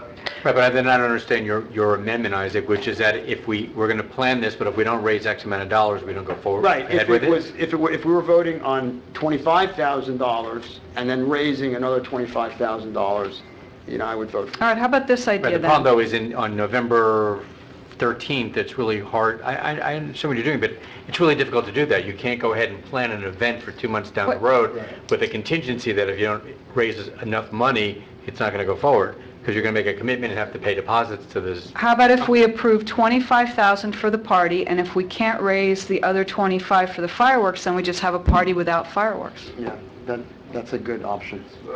I mean. I'm fine with that, but how, how much in advance do you have to, re- Yeah, you know, that's- that's not reserve the fireworks, that's all? Uh, this is a If I don't do this now, it's, they need at least six Yeah. weeks to Right, so if you don't put this commit to together. doing it, then the fireworks are out, which is fine if that's the will, you know, the sense of the council, but Fireworks This and isn't no something that food. you don't can- eat food. Eat before you go. That's the draw. BYO, BYO. I mean, Bal Harbour theoretically spent, what, uh, 300, quarter of a million to 300,000? We're not doing that comparison. No, we're not. They, no, we're not. I mean, we're spending, 75th anniversary, or? I, even then, I, I- No, I I couldn't 70. justify. Seventy. No, No, no, no, we're not- we're not spending- But even then, that made no sense. well, but I, you know, but I think, Let me ask you I think that, no, but I was gonna say that, you know, I think that the fact that we've passed our millage rate with the, the lowest millage rate in nine years, you know, it's not as if we're raising taxes in order to pay for this. This is something that we knew up until last year that we wanted to do something. No, and now no, it's- we This had a is budget budget for impact. 28,500. That's what we thought it was. No, I, I say remember. anything about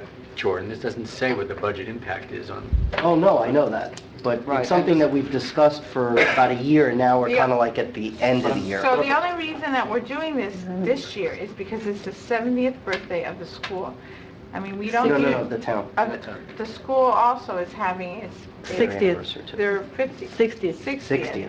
So we want, to- but my question is, don't you usually do 25, 50, 75? I mean, uh, Yeah, what this is like makes, that, right. this- what makes 70... We did 60. Ron, did you say you needed six weeks in advance for the fireworks? Because, They, they, they need to, okay, but that still gives you a month, right? Yeah, To I'm- come up, to see if we get the sponsorship, and then if we got the sponsorship, we have the fireworks. If we don't get the sponsorship in the next month, then we just have a party, Oh. everything else. I gotta be honest with you. too much money. I I think, why can't, you know, 25, 50, those are gold, you know, those are special birthdays. If- What is the school doing for its 60th birthday? That you say their percentage, Yeah, no, for the school, because, this is just My a matter, understanding- of- this is a lot of money for something. well, this is the thing, we're, we're doing it in, supposedly in conjunction with the school. Right. Okay, but I don't see in any of our planning and any of our celebrations that What- we're Like what contribution? yeah. what contribution the school is doing, what are they doing, how are we celebrating this together? if you re, And 70th is not that important, 75, I think, is a little, you know, But even that number, I'm here's... opposed to No, whatever, but here's- uh, I'm gonna vote Well, but against here's, it. here's the problem I have, is that even if it was, even if we were at 75, okay? Regardless, the problem I have here is, goes, we go back to, we had budgeted 28.5. Did I have two copies? You know, there was always the talk about fireworks coming out, but the budget we had put 28.5. Here we are at the last minute, according to you, as far as when we have to order fireworks and everything else, and we're essentially doubling the budget. That's, there's a problem. well, There's- you know what, honestly, you, you asked me to plan for something for our anniversary, the 70th. This is what it will cost. You're not, um, if, the original, the original idea was to have something at the community center, more of like a, I don't want to say a cocktail party kind of a thing where, you know, me- uh, looking at pictures and a lot of memorabilia from the town.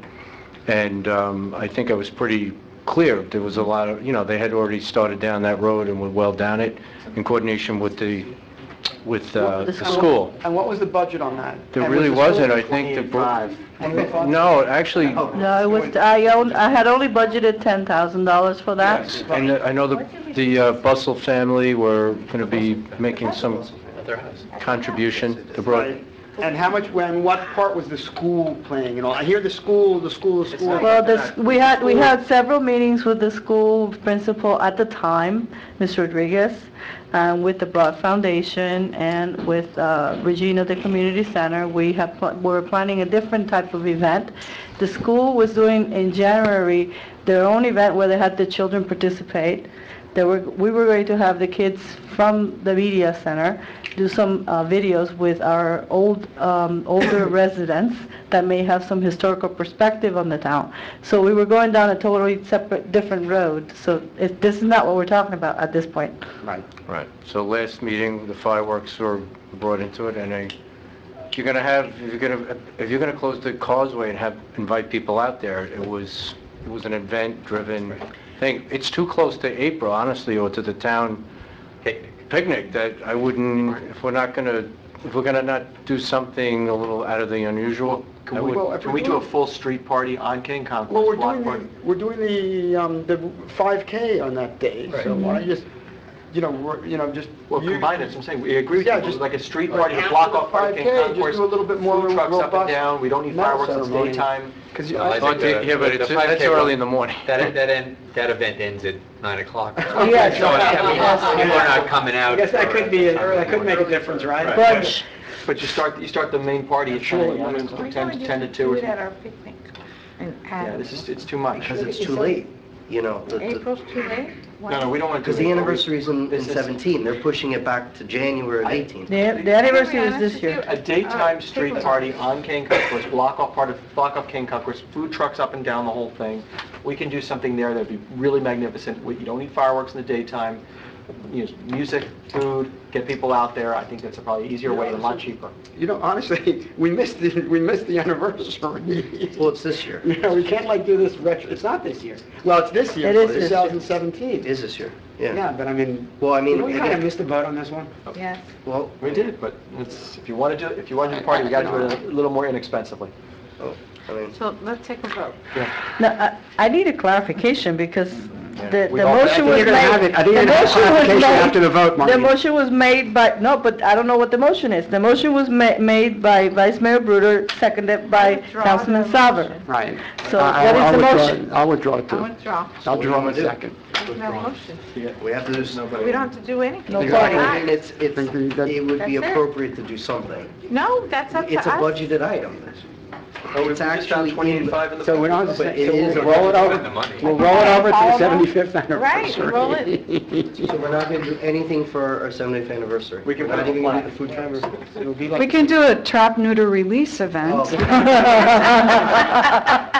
Wow. No, I mean, I think, I think we should do something. I mean, we did agree to and appropriate money in the budget to do something. We don't have to right now, spend there's it. no motion in a second. so- All right, well, all right, so we're going to do nothing. All right. All right, number 16. Item 16, approval of a change order, the final change order, 28, in favor of m and J Construction, Pinellas County, in the amount of $187,368.10. This was to finish the painting of all the steel that we put in, the additional steel. This started out over, God, it's over a year that we've been negotiating with them. The original uh, request was for $330,644. Uh, Through various um, negotiations, that was reduced to 187, the the price that you see Ron, there. you don't have to explain it more, just, I just Okay. want to clarify. You Last just say the one. word final, Final. right? This is it. This is it. Yeah, I'll I'll- move it for discussion. Sorry. Second. Right, motion, a second, discussion? And so also, you know, we've gone back and forth, I mean, you know, for everyone's clarification out there, we started off 11 to 12 million, we're up close to 18, we've had discussions at nauseum. We looked at who we could hold accountable and basically come up with nothing. We tried. So this was just a case of concrete work hides a lot of things, and uh, in discussions with the manager the other day, we were talking about to really seek, uh, you know, what's going on underneath the the concrete, and correct me in in the jargon, that would be like a million-dollar uh, Destructive estimate? test, destructive Destruct- testing yeah, is very please. extensive to do what we, So it's, Get a it's hard easy in hindsight to look back now and say that we should have spent that million, and, and then it would have just told us that we needed to spend 18 million. So I, I'd like to say that, um, so this will be probably the final... No, no, no, no, probably. This is- But I think just the final discussion, because I think there's a perception out there, you know, I've even mentioned it a few times, like, what are we doing? Are we taking legal action? That was mentioned once. So this sort of puts the current bridge to bed.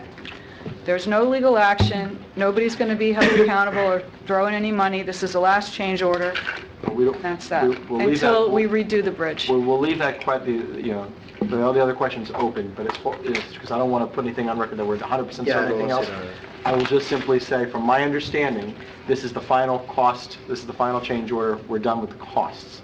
Yes. Okay, that's, that's all I want to know on this one, that's. Yeah, I don't, I don't want to Everything else say, we'll either- leave I don't want to exactly. say either Unfortunately, we're not that gonna we're... Where, where is this money coming from? Like, where's all this money? The the 70th anniversary. No. It's the Causeway Reserves, right? yes. Yeah, is. All right. So a motion, a second, any other discussion? Hold on. Councilmember Yaffe. For. Councilmember Salver. Against. Councilmember Reed.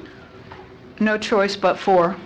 Councilmember Fuller. Again, no choice but for, same thing. That's when I amend my no. Well, you have a choice. Vice Mayor Bruder. No, we don't, we get sued.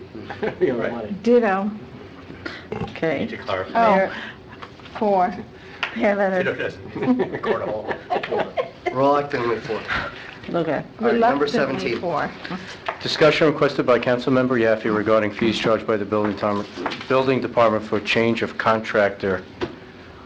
Um, Did you want to? Sure. I- This was brought to my attention by a contractor in town who had commented on the fact that we're charging 50% of the original permit fee if you want to change your contractor.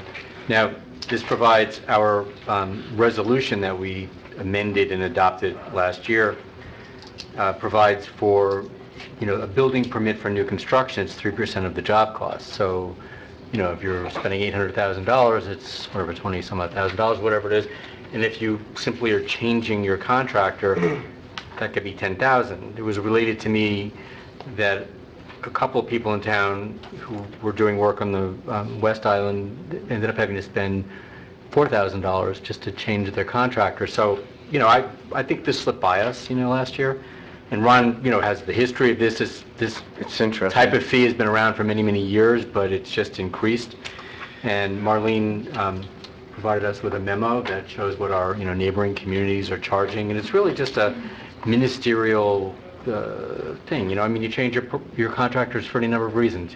You're unhappy with them, they go bankrupt, they walk off the job, whatever, you know. They disappear and to have to spend thousands of dollars just to do that, doesn't make any sense. What, what changes do we have to I can tell you, Isaac. I know, administratively right. in order to change the We need to change the resolution, it's Right. not an administrative. No, but No, no, I- Isaac no, is I'm asking, what does the the town building department, administration do? like, What is the building department, what expense are they incurring by me going in there and saying, okay, I'm taking out contractor A and I'm putting in Can I- contractor E? No, th- very little, very little, Very two little. seconds. So then let's make the fee very little. Right, I think it's, I think it should be $150, which is what was suggested. Bal Harbour charges 150, Sun Isles 100, North Miami Beach 100, you know. 150 is fine.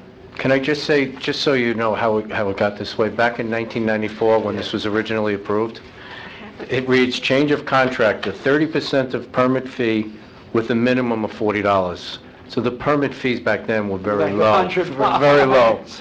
So In nine- in 2004, it was changed, it- it- when it was revised, it stated 30%. All right, let's... Again, it was, there was no... You know, what, uh, no, no, make, make it a, you know what, make it a hundred. Sunny Isles Beach is a hundred dollars. I don't think we 100 have... is fine, so Yeah, make bring a it resolution in January. For a hundred dollars. Hundred bucks. There you go. Okay. Done. All right, number 19. Okay, we don't have to vote. Uh, Item 19, discussion, um, and really just your feedback on the the draft agreement from the Miami-Dade School Board, JC. Why is it only two years? That's the, the... That's They only gave it two years? By the school years, um, I think it, it has a, a a renewal period. It does have renewal, I'm just asking. Well, why it's they- a weird renewal per- period. It's like, you know, you've got renewal, but only, then you can extend another two years if both sides agree to it, which... I mean, that's, that's, that that type of It's- renewal period. I know, They it's- have in the Sunny Isles Beach contract. It was very, very close to Sun Island, which, you know, depending on who you speak to, uh, it actually has controlled, or according to the school board, their growth in student population has leveled off. Um, I'm not sure, this is modeled pretty close to that, with some changes. One of the things that we wanted to make sure that we got in there was that if some, something came to our attention, that we could pass it on and it wouldn't be fluffed off. Um, So if we, if something comes to our attention, we can bring it up to them. Or the concerns, obviously, of the council or that t- relating to them is we just don't want everybody to think there's nothing going on and that you are going to address what's the issue here. And how do we, They will, there's reporting, monthly reporting. To Yeah, I know, but, but one of the things is, it says that we're, they're gonna use LexisNexis, and they- but then they say they have no financial obligation. There's the assumption that we're gonna pay for the program. We are No, paying it's for it. like we are- we flat out paying for it. There's no- No, I know that, but I'm That was saying, discussed- That was discussed. no, no, no, I. I understand that, but What other, meeting? other An than the hour? program, Council meeting? yeah, but, but other than the program, Yes. the, the actual staffing of, that's on their side. Yes. I just wanna make it abundantly clear. We will because train them. It doesn't say that in there. No, but it does talk about, they're they're not going to spend any money on it. Yeah, it says that. The problem there becomes, if they do want to say, look, it cost us this number of dollars for, they Right. have an argument, say, we had to spend X number of hours and our people need to pay. I think There's a, there's a, there's a problem here. It just needs to be clear, it just needs to be clarified that, Okay. that the staffing as far as verifying is on their end and we don't bear that cost. The reason, the reason it's written like that, in Sunny Isles, Sunny Isles agreed to pay for Now, I know what they're, people and would not, and this is why that language is... But I don't love the But way we'll they set change it up anyways. I got to tell you, there's a few issues here. I mean, Yeah.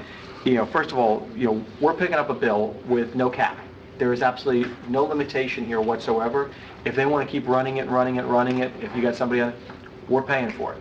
Um, I have a problem with that. Second, it it just simply says that in the- if they find somebody, when they do the mailings, and the mailing's going to cost us probably, you know, four, five, six, seven thousand dollars just for the certified return receipt mailings each time they do it. They've already done that. and I we're- understand, but I'm saying each time, but we're gonna be picking up the cost every time they do that, so they do it once, twice, three times, you're looking at five, six grand every time. But the fact of the matter is, you've got a scenario here where it simply just says, and we know this, that they're just gonna go back to the standard program of what their normal policy as to how they wanna handle case by case. Well, they haven't been doing a great job on that up to now. yeah. Um, and we're just picking up a bill just to go back to the same system we're at currently. Uh, Yeah, go ahead.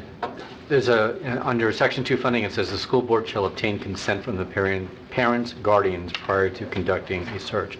So what if the parent guardian says no? And then you're done, that's it? I mean, And that came up at the meeting. Yeah. and We we were, we asked that same question, and that's a red flag for them. So then they, they bring them in and they interview them further, and, and, uh, and they, it's, they're focused on. And But I mean, So It kicks off an additional meeting with the school. Yeah, but, I- and the- but the problem is even there, it doesn't say there's actually any enforcement. They're not sharing the information with us. That's one thing, and they know they can't. But I I understand that. But at the same time is, we're essentially paying for something on an unlimited basis with no knowledge of anything's actually happening.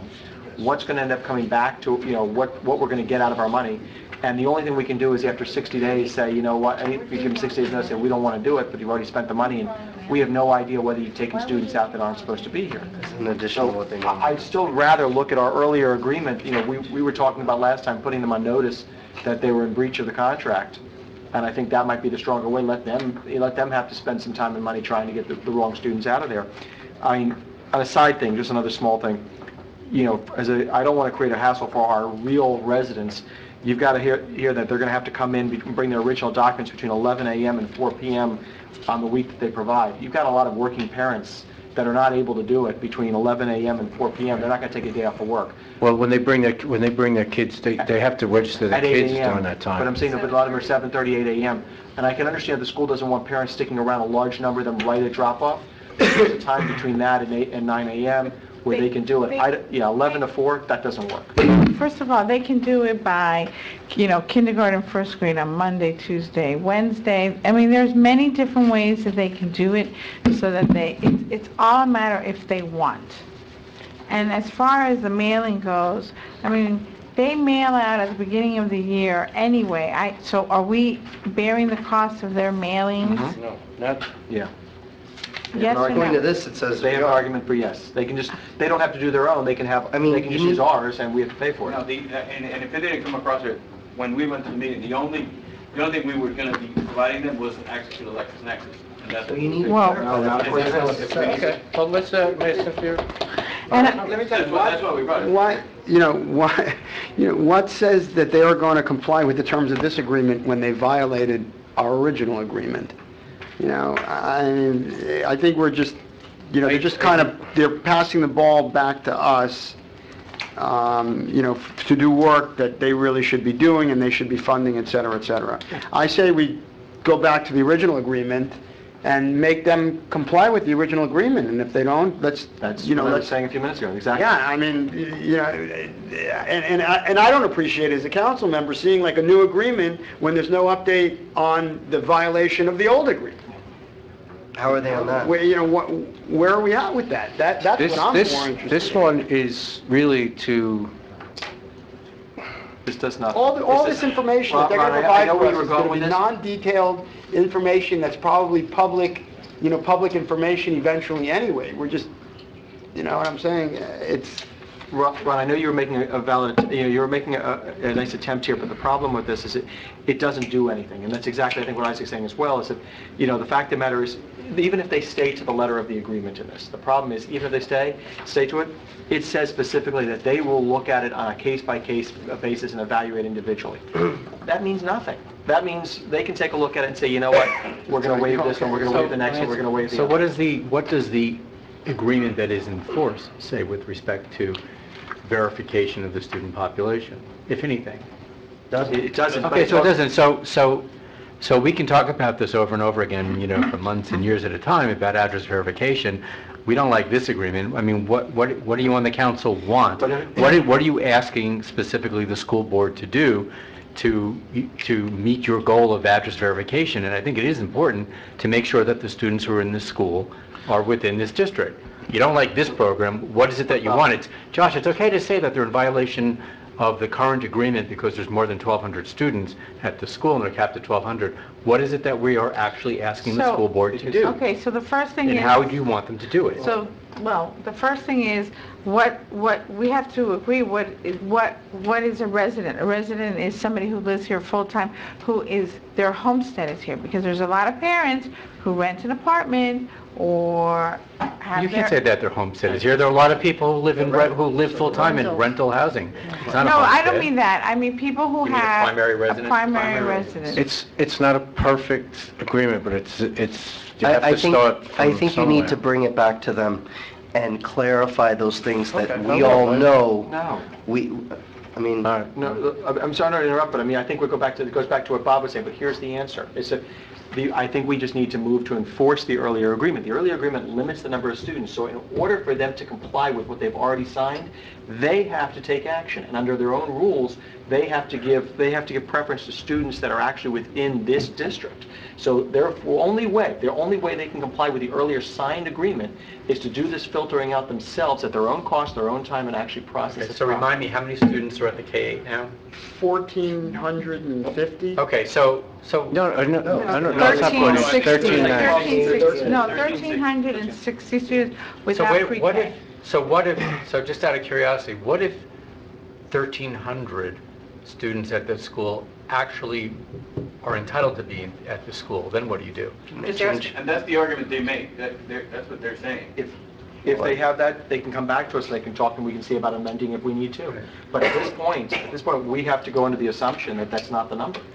There's no other way for us to do it. I mean, this, this doesn't do it. Josh, the only, the only thing I'm afraid of, and I'm sorry, it's, you're, we, we rely on that school for our programming and a lot of stuff, and And that agreement you referred to is the joint use that allows... that's that joint use agreement. And, So they're gonna lock, you, you're I scared they're don't- gonna lock us out? well, listen, you, it can't- could, Don't, you know, no, they, believe me, they need us Yeah. just as bad as, you know, we need them. I, I don't think you can approach it from that defensive, passive perspective. You need, you know, you, you- we need to jump up and down. And If we have to file, uh, like, uh, some type of injunction to prevent them from building that extra 2,800 square feet, which I guarantee you will be filled up with brand-new kids, and they'll come back with statistics that there's 1,600 kids in that before you turn around, I can guarantee you. If we have to, you know, I mean, I think this council should take the position that enough is enough. You know, it's hard to believe that we're talking about another government agency, a county, No, they want the a county entity, like we're talking about a utility company or or a vendor or a private company, but, you know, that we have to go after. So, um, you know, do you think this can be accomplished politically, I mean, and formally? That, you know, so, so the school board works for the county commission, right? No, no, the school board is autonomous. The school board is its own separate entity. Okay, so, so we go to the state, you know, who, No, you so go who to do the they school board. report The to? first thing, The first thing, school back to- board. Fra- Hold on one second. Did- Craig and Frank, did you guys have the conversation with the school board? I think after the last meeting, we talked about the fact of having a conversation with them with regard to the... Because um, the first thing they were supposed to do is provide the draft.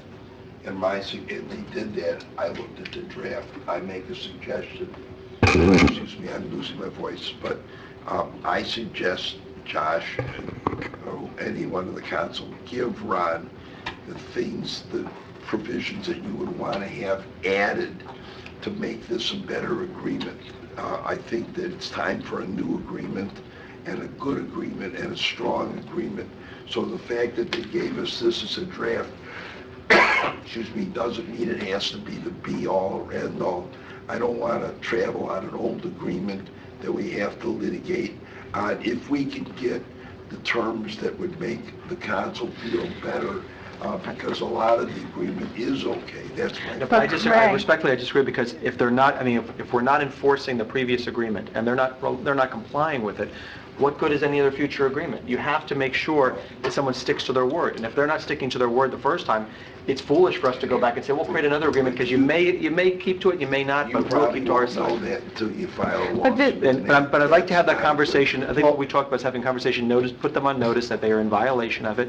If they want to comply and fix it themselves so they're no longer in violation, we can work with them. If But- not, we may have to. Let, let me do this, let me do this. Uh, Why don't we try to, let- let's give it one shot, and then, and, and if we can't resolve anything by January, then, then why don't we take it to the next, the next level?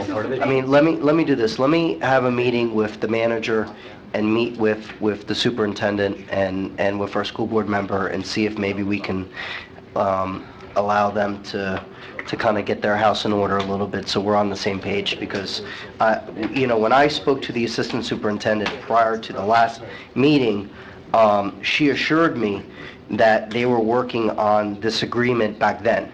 So before we showed up and they all showed up to the council meeting, I was under the assumption that they were actually, had the agreement that they were going to bring with them. Now, they showed up with something that literally is a photocopy from Sunny Isles Beach. I mean, it literally is, uh, well, I, I- Jordan, I I got it. with all due respect, she came in here, if she had any agreement or any, um, idea that she was going to be amendable to anything, she wouldn't have come in here the way that she came in here and have been so aggressive towards all of us. She did not, she- under no circumstances did she come in here wanting to work with us. The first thing that this agreement has to have is a cap on the amount of students. Otherwise. Well, that's- that's- We already have that. No, but I'm No, but let, let, let's... Wait, one, one okay. second, Jordan. I know the school inside out. The reason they're building the brand-new portion is to relieve what we already have. It's not for them to open I up the door in a new agreement, Craig, for them. I kind, I have to agree with, um, Josh. We have, we have, we have an agreement. It's supposed to be this amount. The reason they're doing it is because we're over capacity. We're building this new Overcapacity in the individual classes, you're doubling up, you're doubling up Well, classes. right. It's not, Right, we're not, right. I mean, there are kids I mean, in s- first grade, second grade, there's 30 kids with one teacher in a classroom. It's, it's out of control. I know. And the idea that we're just going to go to them, with all due respect, Jordan, and sit with them and say to them, okay, well, you know, first of all, they were supposed to build this building a couple years ago. We raised that money many years ago. We were put on hold, and it's been almost three years that we've been talking about this building. And if they're going to use this building as a, well, we'll build the building if you let us have more people. Well, you know what? I agree with I agree with Isaac. You know what? Then don't build the building. And I'll just, with the people who raise the money for the basketball courts, we'll just build the basketball courts. Because it's Let me tell about you, thi- education and students. It's not about, This, this town was not built to house a major educational complex. Thi- You know, this town was built around, uh, you know, um, Bay Harbor Elementary School, which I'm sure when you went there, had maybe 600 kids, 500 kids. Smaller. Huh? It was a lot smaller. It was, a- it was a lot, it was a lot smaller, and then, okay. Where the field was. You know, the, the, you know, the population got a little bit denser, but it didn't get that much denser, where we have to like triple the size of the school. We can't handle it. Our, our cops can't handle it. Our, you know, the traffic can't handle it. We're not built for that. So that's why I'm, I'm, I'm certainly not supportive of building an, yet an additional structure, you know, over the basketball courts. I mean, honestly, I would do anything in my power to stop the construction of this new building. Because the history is this, they had the little elementary school, and then they made it into a big elementary school. And then it got bigger, and they put portables on the, on, on the field. And we said, you know what, we don't want any more portables, get rid of the portables. They say, fine, we're gonna build a permanent structure where the portables were, and we promise there's not gonna be any portables. And then, at that time, they said, we'll have 1,200 kids. Well, you know, turn around, fast forward, we have 1,300, 1,360 kids there now, and, and, and growing, and believe me. What about the parking garage and threatening us to put a parking garage where the green field was and all that? Well, I mean, But listen, you have to, and I don't have the answer to this, but you have to make a determination as to how many students at, at that school are really entitled to be there, because we're continuing to build housing in this community, and I know it's, I don't know what the extent of the population But you'll still increase will be, but you're still going to be adding kids, and unless you, you don't want to split this district, uh, and you don't want to you say know some... what, Bob? You you know what? No, I'm Maybe saying yes. our kids, if No, Bay Harbor kids, I'm saying you don't want... No, Bay Harbor, but Harbor. if you, if if you have to, s- if you have to split the district, maybe the kids, you know, from 96th Street south will have to go to, um, uh, Biscayne Elementary, which is at 88% capacity. By the way, 96th Street, meaning 96th Street. he's saying you're Surfside. I'm saying Surfside. Remember, Coastal. six, Right, I know, 96th Street I'm splits for us. island. I wouldn't- I'm- Well, I you know, think- By the, I by the way, by the way, splitting our island. by the way, there was, there was a time, you may not know this, but there was a time when I went to school, middle school was separated by Kane Concourse.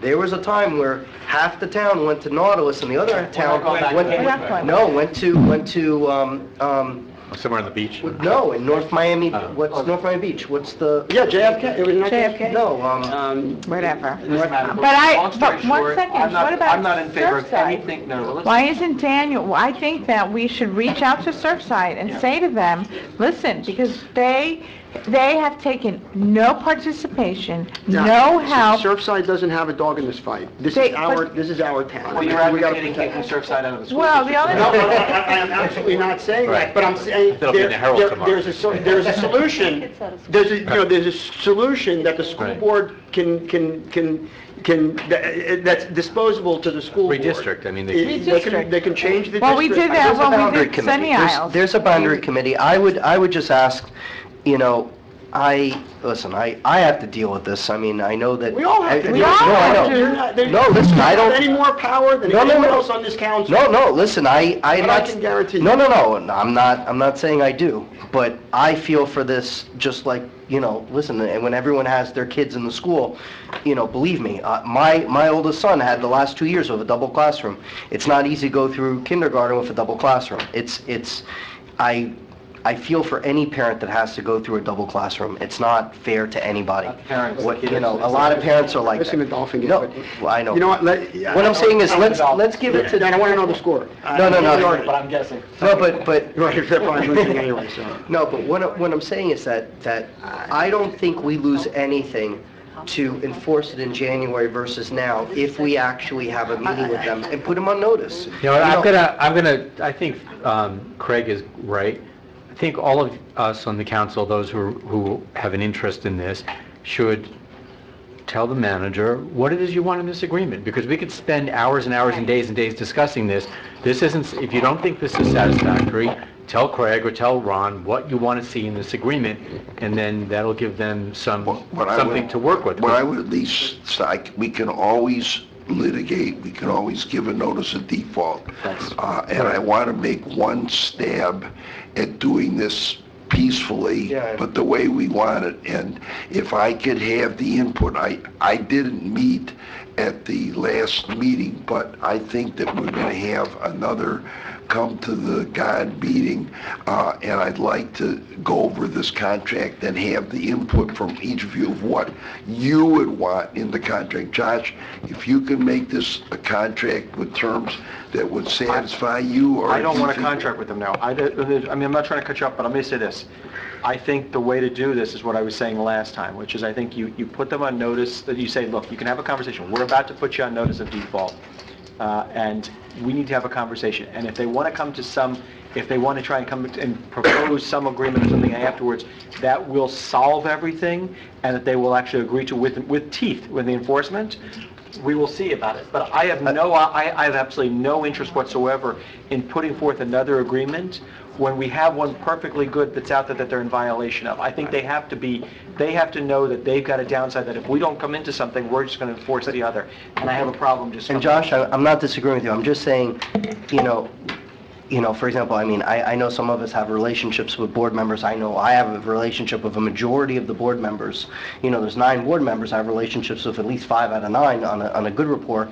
I would say, a, a, you know, a conversation with our, our board member and the superintendent should be customary, since they're, you know, listen, they're, they're a government entity like us, before we, we, nothing, nothing stops No, no, us from that's- doing no, no, no, that. that's what I'm saying. I'm saying you have the conversation, Right. but, but the idea of drafting a new I agreement right understand. now is useless. Let- Let's, let's have, let's, if, if we all can agree, I'd like to have a, a a meeting with them, with the manager, and just express our frustration, because, again, there's, you know, no, it's that not- doesn't mean that, that it's not doesn't mean, frustration. let me tell you something. I don't agree to that. Well, you know, I don't agree to that. I can tell you most And- board and- and members let- don't let me tell know you what goes on in honestly, Bay Harbor. I mean, I, I don't care what Well, they relationship you should. have with the nine members of the school board. I've been on the school board audit committee, Yeah. and I've dealt with every one of them for the last four or five years. Yeah. And I know how the school board operates. That's why I can speak with such conviction, because I've seen it all in front of me, okay? It's time, you know, the, the, what they understand is a legal letter. Mm-hmm. They understand black and white. You're in violation, fix it. And if there's anything, you know, I, I, I agree with Josh, no new agreement until the old agreement is, is, is, is back in order. So, and, and my number one thing is population, student population. If it's not 1,200, there's nothing to talk about. That's it. There's, you know, there's one thing, population. It- We agreed to 1,200, get it to 1,200. I don't care how you'd have to do it, but just get it to 1,200, period. And that's, there's, you know, any other agreement is meaningless until we get there. I mean, have you spoken to our board member about this, as far as the, I have. I mean, You know, he, he knows, believe me. He knows. Martin knows every single thing that goes on there and here. Yeah. and, He knows everything, and he, and he, let me tell you, thank God, he is great, he's effective, um, and I think he can, he can get us to where we need to be, I'm sure. Uh, you know, some way or another, So Are so. we in agreement that we would like to send a letter? Until, Yes, I agree, yeah, Yes. we're gonna put him on notice. yeah. All right? Okay, so Put 'em on notice. the concessions of the town is that we would like to put the um, school board. board on notice that they are not in compliance with the um, Agreement. agreement and that they have violated. And how much time does it give them to respond? 30 days. Yeah, 30-day 30 cure days. period. 30-day cure period, but we can work with them, and I don't want them kicking students out this, this year, but... No, I know, but I Believe mean... me, they're not kicking back anyone Doing anyway. anything. I understand, They're, but... they're, what I'm saying is they're gonna respond, they're gonna have to respond before our next meeting, so. Well, that gives them 30 days You to know. respond. By January, they need to respond. They need to All right. uh, respond to us. All That gives them plenty of time. Well, I still wanna speak to our school board member and... and- Do whatever you want. You can lobby, speak, Listen, I, you know, I on the dime, do whatever you have to do, but we, No, I know, but I just, I just want to make sure that, you know, and, and just for, again, for, for all of our sakes, you know, there, my understanding is that building has already gone out to bid. So are we also giving an opinion in regards to the building at this time? No, we're We don't, not. I have, I listen, I, and I, and I'm, Isaac, tell me if you feel otherwise, because, I mean, you, you, I don't think any of us have a problem with the building getting built I- if we are one hundred percent certain Right. that it's not more students, that Right. it's just our students, that's fine, it's a nice new building. Yeah, I think we're on. Right, it reduces the class sizing, gives more, more Right. facilities. and, you know, you know, it's funny, because I went by the site of where the basketball courts are, and I didn't realize that it's really in, it's inside the block. It's not on the, s- the terrace. It's, Right. Right. it's inside, it's one, like, one lot inside. Right. So, I mean, that, ha- that will have much less of an impact on the And do you community. realize the people who donated that money, Still sitting. child will be out of the school by the time that basketball court is built? But, they- well, what I, Well, I I can't opine on that, I can't comment on that. But, um, but, yeah, I mean, I- I- so I'm not, I'm not so crazy against the building, but enroll, you know, the enrollment must be That's exactly- 1,200 or less. I, I- and there's nothing else to talk about. Move to adjourn. All right? Second. All right, we are adjourned at 9:47. I, I, I killed it. I-